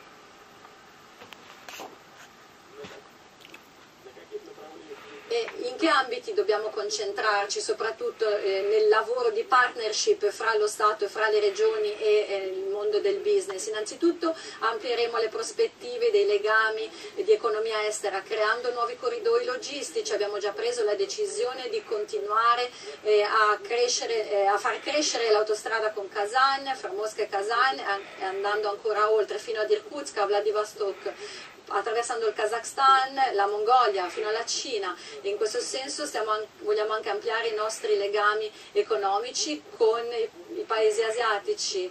Eh, ci concentreremo sul Mar Nero, sul mare di Azov e dedicheremo, già dedichiamo particolare attenzione e lo sanno quelli che, che, lo stanno facendo, ma continueremo a dare attenzione anche al ehm, corridoio internazionale da nord a sud. Già oggi eh, stiamo avanzando fortemente, questo aprirà anche nuove vie di collaborazione con l'India, l'Iran, il Pakistan, con tutto il vicino Oriente. Continueremo a sviluppare questi corridoi. Il nostro piano è anche quello di continuare a modernizzare tutte le infrastrutture, le strade, i sistemi di collegamento, la via verso il mare del nord, soprattutto per risolvere e eh, raggiungere tutti gli obiettivi di raggiungimento anche della Siberia e dell'estremo oriente del paese. Continuiamo a sviluppare le, le infrastrutture, incluse anche delle, i, collegamenti di telecomunicazioni. Nel 2024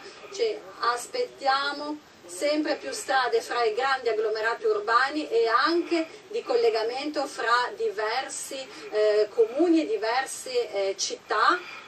Tutto questo verrà realizzato. Continueremo anche il sistema di fornitura del gas gratuito. Stiamo pensando di arrivare anche agli istituti sociali come eh, gli ambulatori, gli ospedali, le scuole, gli asili e questo programma funzionerà in maniera costante. Tutti eh, gli istituti di, di, tipo sociale, gli enti sociali possono rivolgersi per attivare questo sistema di fornitura del gas e possono chiedere anche di, ci si può chiedere di collegare le proprie abitazioni a questo sistema, a questa rete.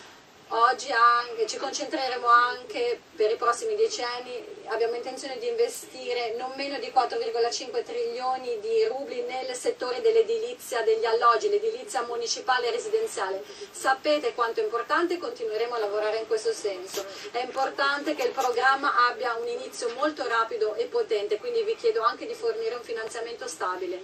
Poi dobbiamo ampliare ulteriormente anche le possibilità tecnologiche della nostra economia, garantire tutto il potenziale della nostra industria, avviare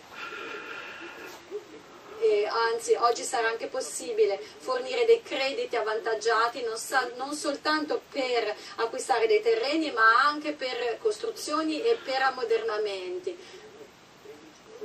Abbiamo stanziato una somma piuttosto dignitosa che non è male come inizio fino quindi a 500 milioni di rubli, che quindi è una fornitura di 3-4%, mm, tasso di 3-4% per un determinato numero di anni prestabilito che penso secondo me sia un'ottima possibilità.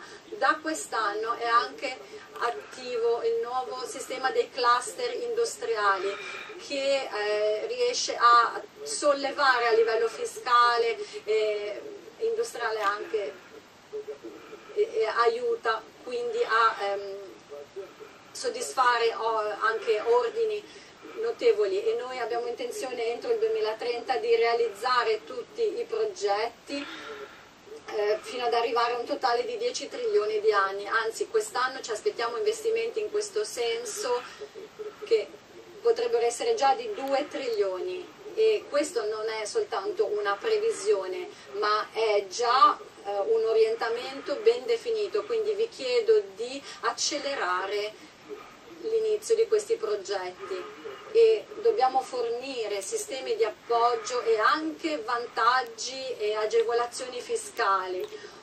Sappiamo che molti non amano fornire ehm, dei, eh, dei vantaggi in questo senso, delle agevolazioni fiscali, ma qua è necessario un approccio un po' creativo e quindi a partire da quest'anno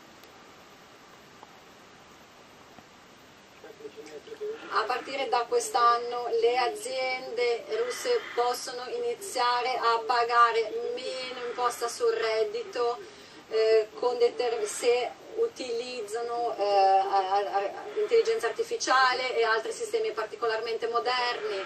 E di fatto per ogni rublo che l'azienda investe per acquistare questi prodotti, questi prodotti verrà, ci sarà una riduzione di 1,5 rubli e quindi chiedo di utilizzare proprio, queste agevolazioni per l'acquisto di nuove attrezzature tecnologiche e eh, chiedo ai, ai, vari ministeri di effettuare una lista di queste apparecchiature per i diversi settori industriali e fornire queste agevolazioni.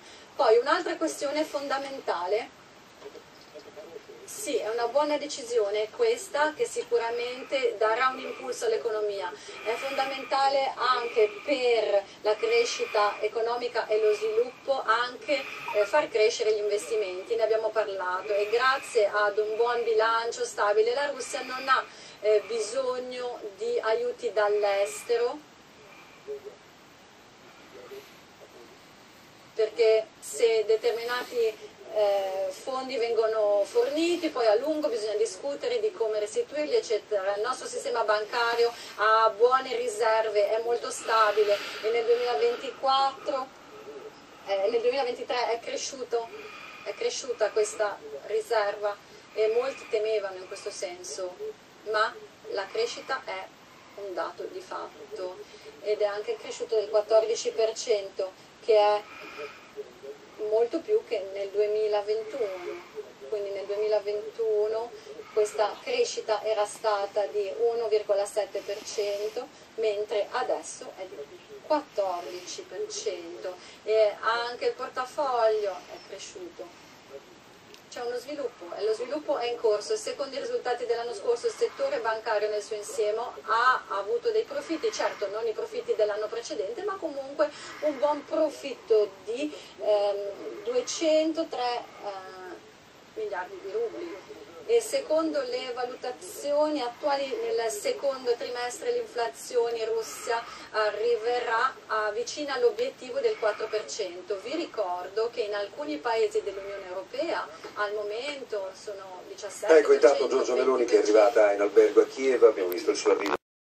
Italia, programma statale in questo senso già dall'aprile di quest'anno e bisogna creare buone condizioni perché i cittadini possano eh, mantenere dei risparmi ed è fondamentale proteggere eh, anche eh, i cittadini e far sì che continuino anche a versare i propri contributi. Questo aiuta anche a proteggere, in qualche modo ad assicurare, ad assicurare le riserve delle banche. E lo Stato assicura eh, determinate eh, somme e chi versa contributi volontari a chi versa contributi volontari verrà garantita eh, una percentuale ancora maggiore. È anche importante difendere eh, i risparmi dei cittadini anche con altri diversi strumenti di eh, investimento e è necessaria una soluzione ad hoc anche per il business delle alte tecnologie.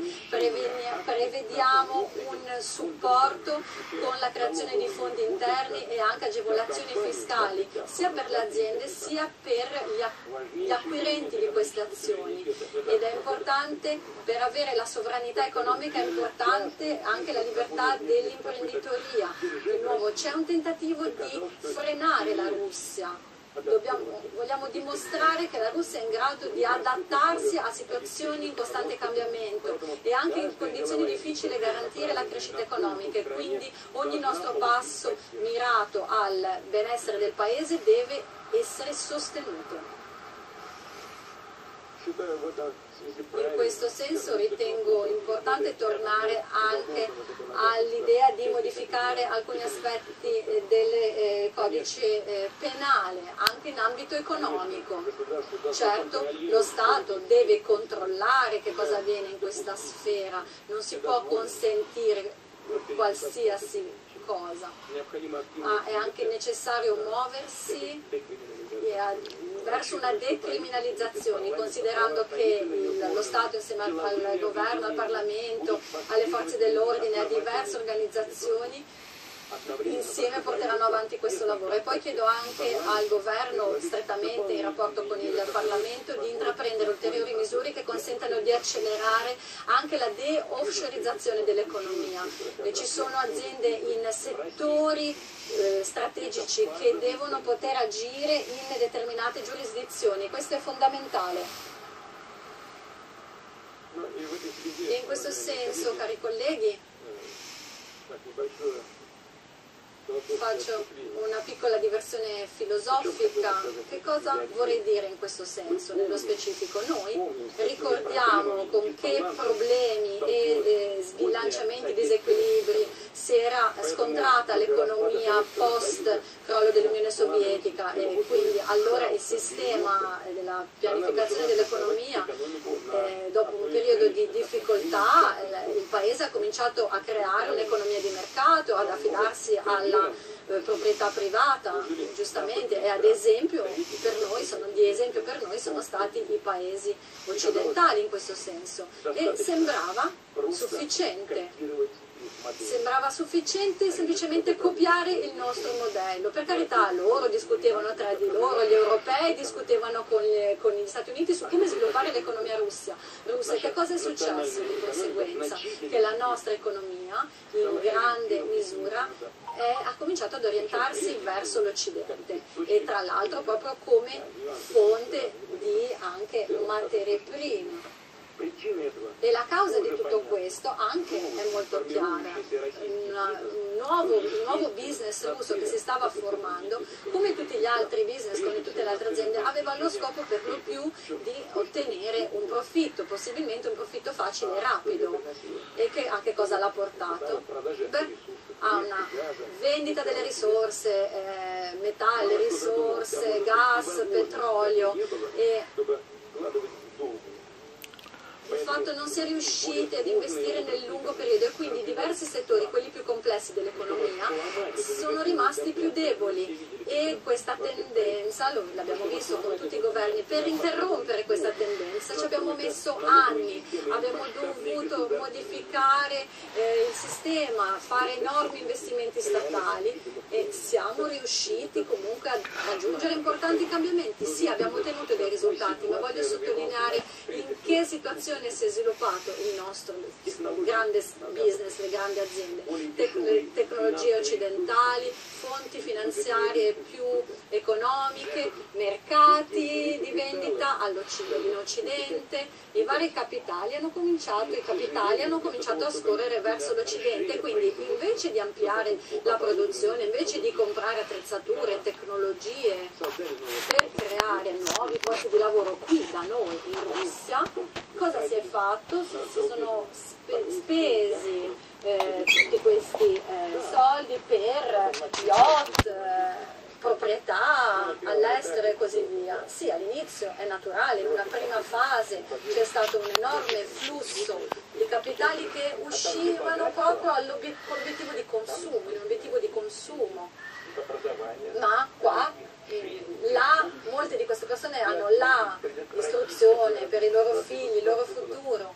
E per bloccare questa tendenza lo Stato ha fatto enorme fatica, era quasi impossibile perché si viveva nella libertà del mercato libero. E gli ultimi avvenimenti hanno dimostrato come in realtà tutto questo fosse un falso e chi non l'ha capito in tempo e che ha valutato, considerava la Russia solo come una fonte di guadagno per poi portare tutti questi fondi all'estero, beh di fatto è stato saccheggiato, derubato, ha perso tutto ed erano per carità risorse legalmente eh, ottenute. E, vi ricordate, io una volta scherzando con i rappresentanti del nostro business ho scherzando detto che molti correvano qua e là per salvare i propri capitali, i propri guadagni ed è proprio quello che poi è successo. E sapete adesso aggiungerò una cosa semplice ma importante.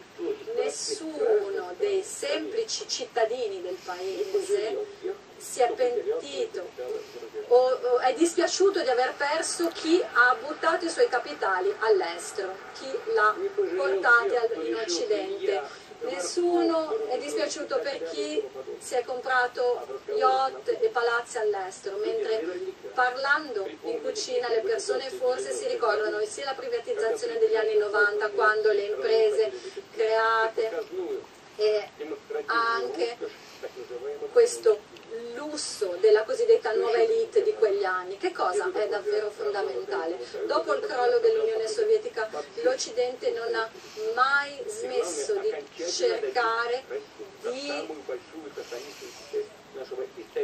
di sconfiggere la Russia e hanno cercato eh, ci hanno mandato contro terrorismo internazionale, hanno creato focolai di conflitti regionali, hanno ignorato tutti i nostri tentativi di utilizzare sistemi di eh, trattativa e il business russo è riuscito a creare enormi collettivi, ha creato una situazione economica stabile, laddove di fatto in quegli anni molti rappresentanti di grandi aziende si trovavano in qualche modo sottoposti e dipendenti dai governanti di altri paesi che nei nostri confronti erano aggressivi. E noi tutto questo l'abbiamo considerato un grave rischio ed è un qualche cosa che non poteva essere consentito. Sì, certo, ognuno ha la possibilità di scelto, qualcuno vuole vivere vogliono vivere fino alla propria vita, della, eh, fino alla fine della propria vita in un palazzo dove si è in qualche modo sotto eh, arresto, con i, i fondi bloccati, è un loro diritto. E quando hanno, noi dobbiamo però comprendere che per l'Occidente queste persone sono comunque cittadine di seconda categoria, di seconda classe, tutto ciò che hanno acquistato, titoli che hanno acquistato, qui non avranno alcun valore, devono capire che sono cittadini di seconda classe. Ma c'è un'altra scelta, quella di stare con la propria madre patria, di lavorare per il bene dei tuoi compatrioti, non soltanto per aprire aziende, ma per cambiare la vita intorno a noi, in città, paesi e questi imprenditori, questi businessmen sono tanti ed è lì che sta il futuro del nostro business. Tutti devono capire che le fonti di benessere e il futuro dovrebbero essere qui, in Russia. E poi sicuramente creeremo così un'economia stabile, forte e autonomia che non è chiusa al mondo e utilizza questo vantaggio competitivo da, ma il denaro che viene creato e guadagnato qui deve essere speso per il bene del paese. Dobbiamo sviluppare le nostre infrastrutture, le infrastrutture turistiche e chiedo a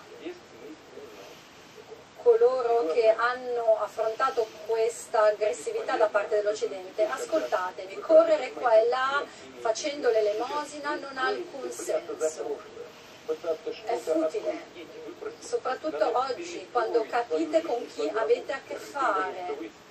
Non restate bloccati nel passato, non tentate di andare a discutere nei tribunali, farvi restituire eh, ciò che vi è stato tolto. Siete persone coraggiose che per molto tempo hanno guadagnato, che adesso hanno attraversato un periodo difficile. Iniziate nuovi progetti, investite in Russia, investite in nuove fabbriche, in nuovi possibili posti di lavoro, nella creazione di nuove infrastrutture, nell'istruzione, nella cultura sportiva. È così che otterrete la gratitudine delle- della popolazione e di molte generazioni in futuro e lo Stato vi sosterrà in questo senso.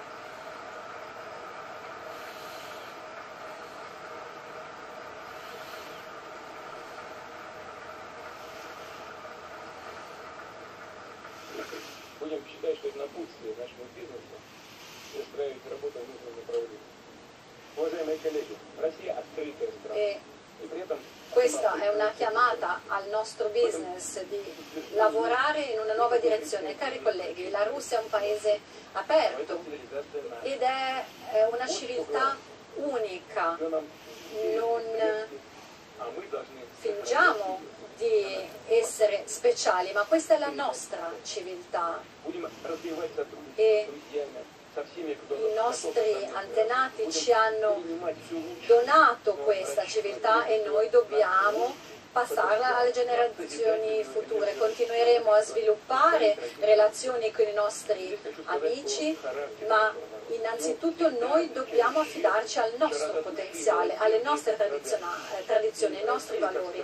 E qui vorrei proprio parlare del carattere del nostro popolo. Siamo sempre stati generosi, compassionevoli e la Russia è un paese che riflette queste qualità, sappiamo come essere amici, come mantenere la parola data e non deludere nessuno, supportare le persone in condizioni difficili, in difficoltà, supportiamo sempre coloro che sono in difficoltà. E ricordate che durante la pandemia, la pandemia abbiamo fornito sostegno ad altri paesi europei, l'Italia e altri paesi europei e eh, abbiamo sostenuto coloro che stavano attraversando il periodo più difficile. Non dimentichiamo come abbiamo aiutato anche eh, adesso eh, in passato, in questo, per questo terremoto in Siria e in Turchia. Il popolo russo, la base della sovranità del nostro popolo è il popolo russo ed è un diritto del nostro popolo eh, non, essere, non essere in qualche modo messo in dubbio, noi non ci allontaneremo da questo modo di essere e voglio anche enfatizzare che nelle, nelle elezioni eh, locali e nelle elezioni presidenziali del 2024 eh, tutto verrà svolto secondo la legge, seguendo le procedure costituzionali abbiamo diversi approcci per risolvere questioni sociali, tuttavia tutte le forze della società, tutta, tutti devono affidarsi ad alcuni principi fondamentali, sicurezza e interessi, gli interessi nazionali del nostro popolo. Voglio ringraziarvi per questa posizione di grande responsabilità e voglio ricordarvi queste parole dette più di cento anni fa, che ancora però valgono, è stato detto che nella difesa della Russia tutti noi dobbiamo coordinare le nostre forze e i nostri diritti per supportare un diritto supremo e storico, il diritto della, della Russia ad essere forte.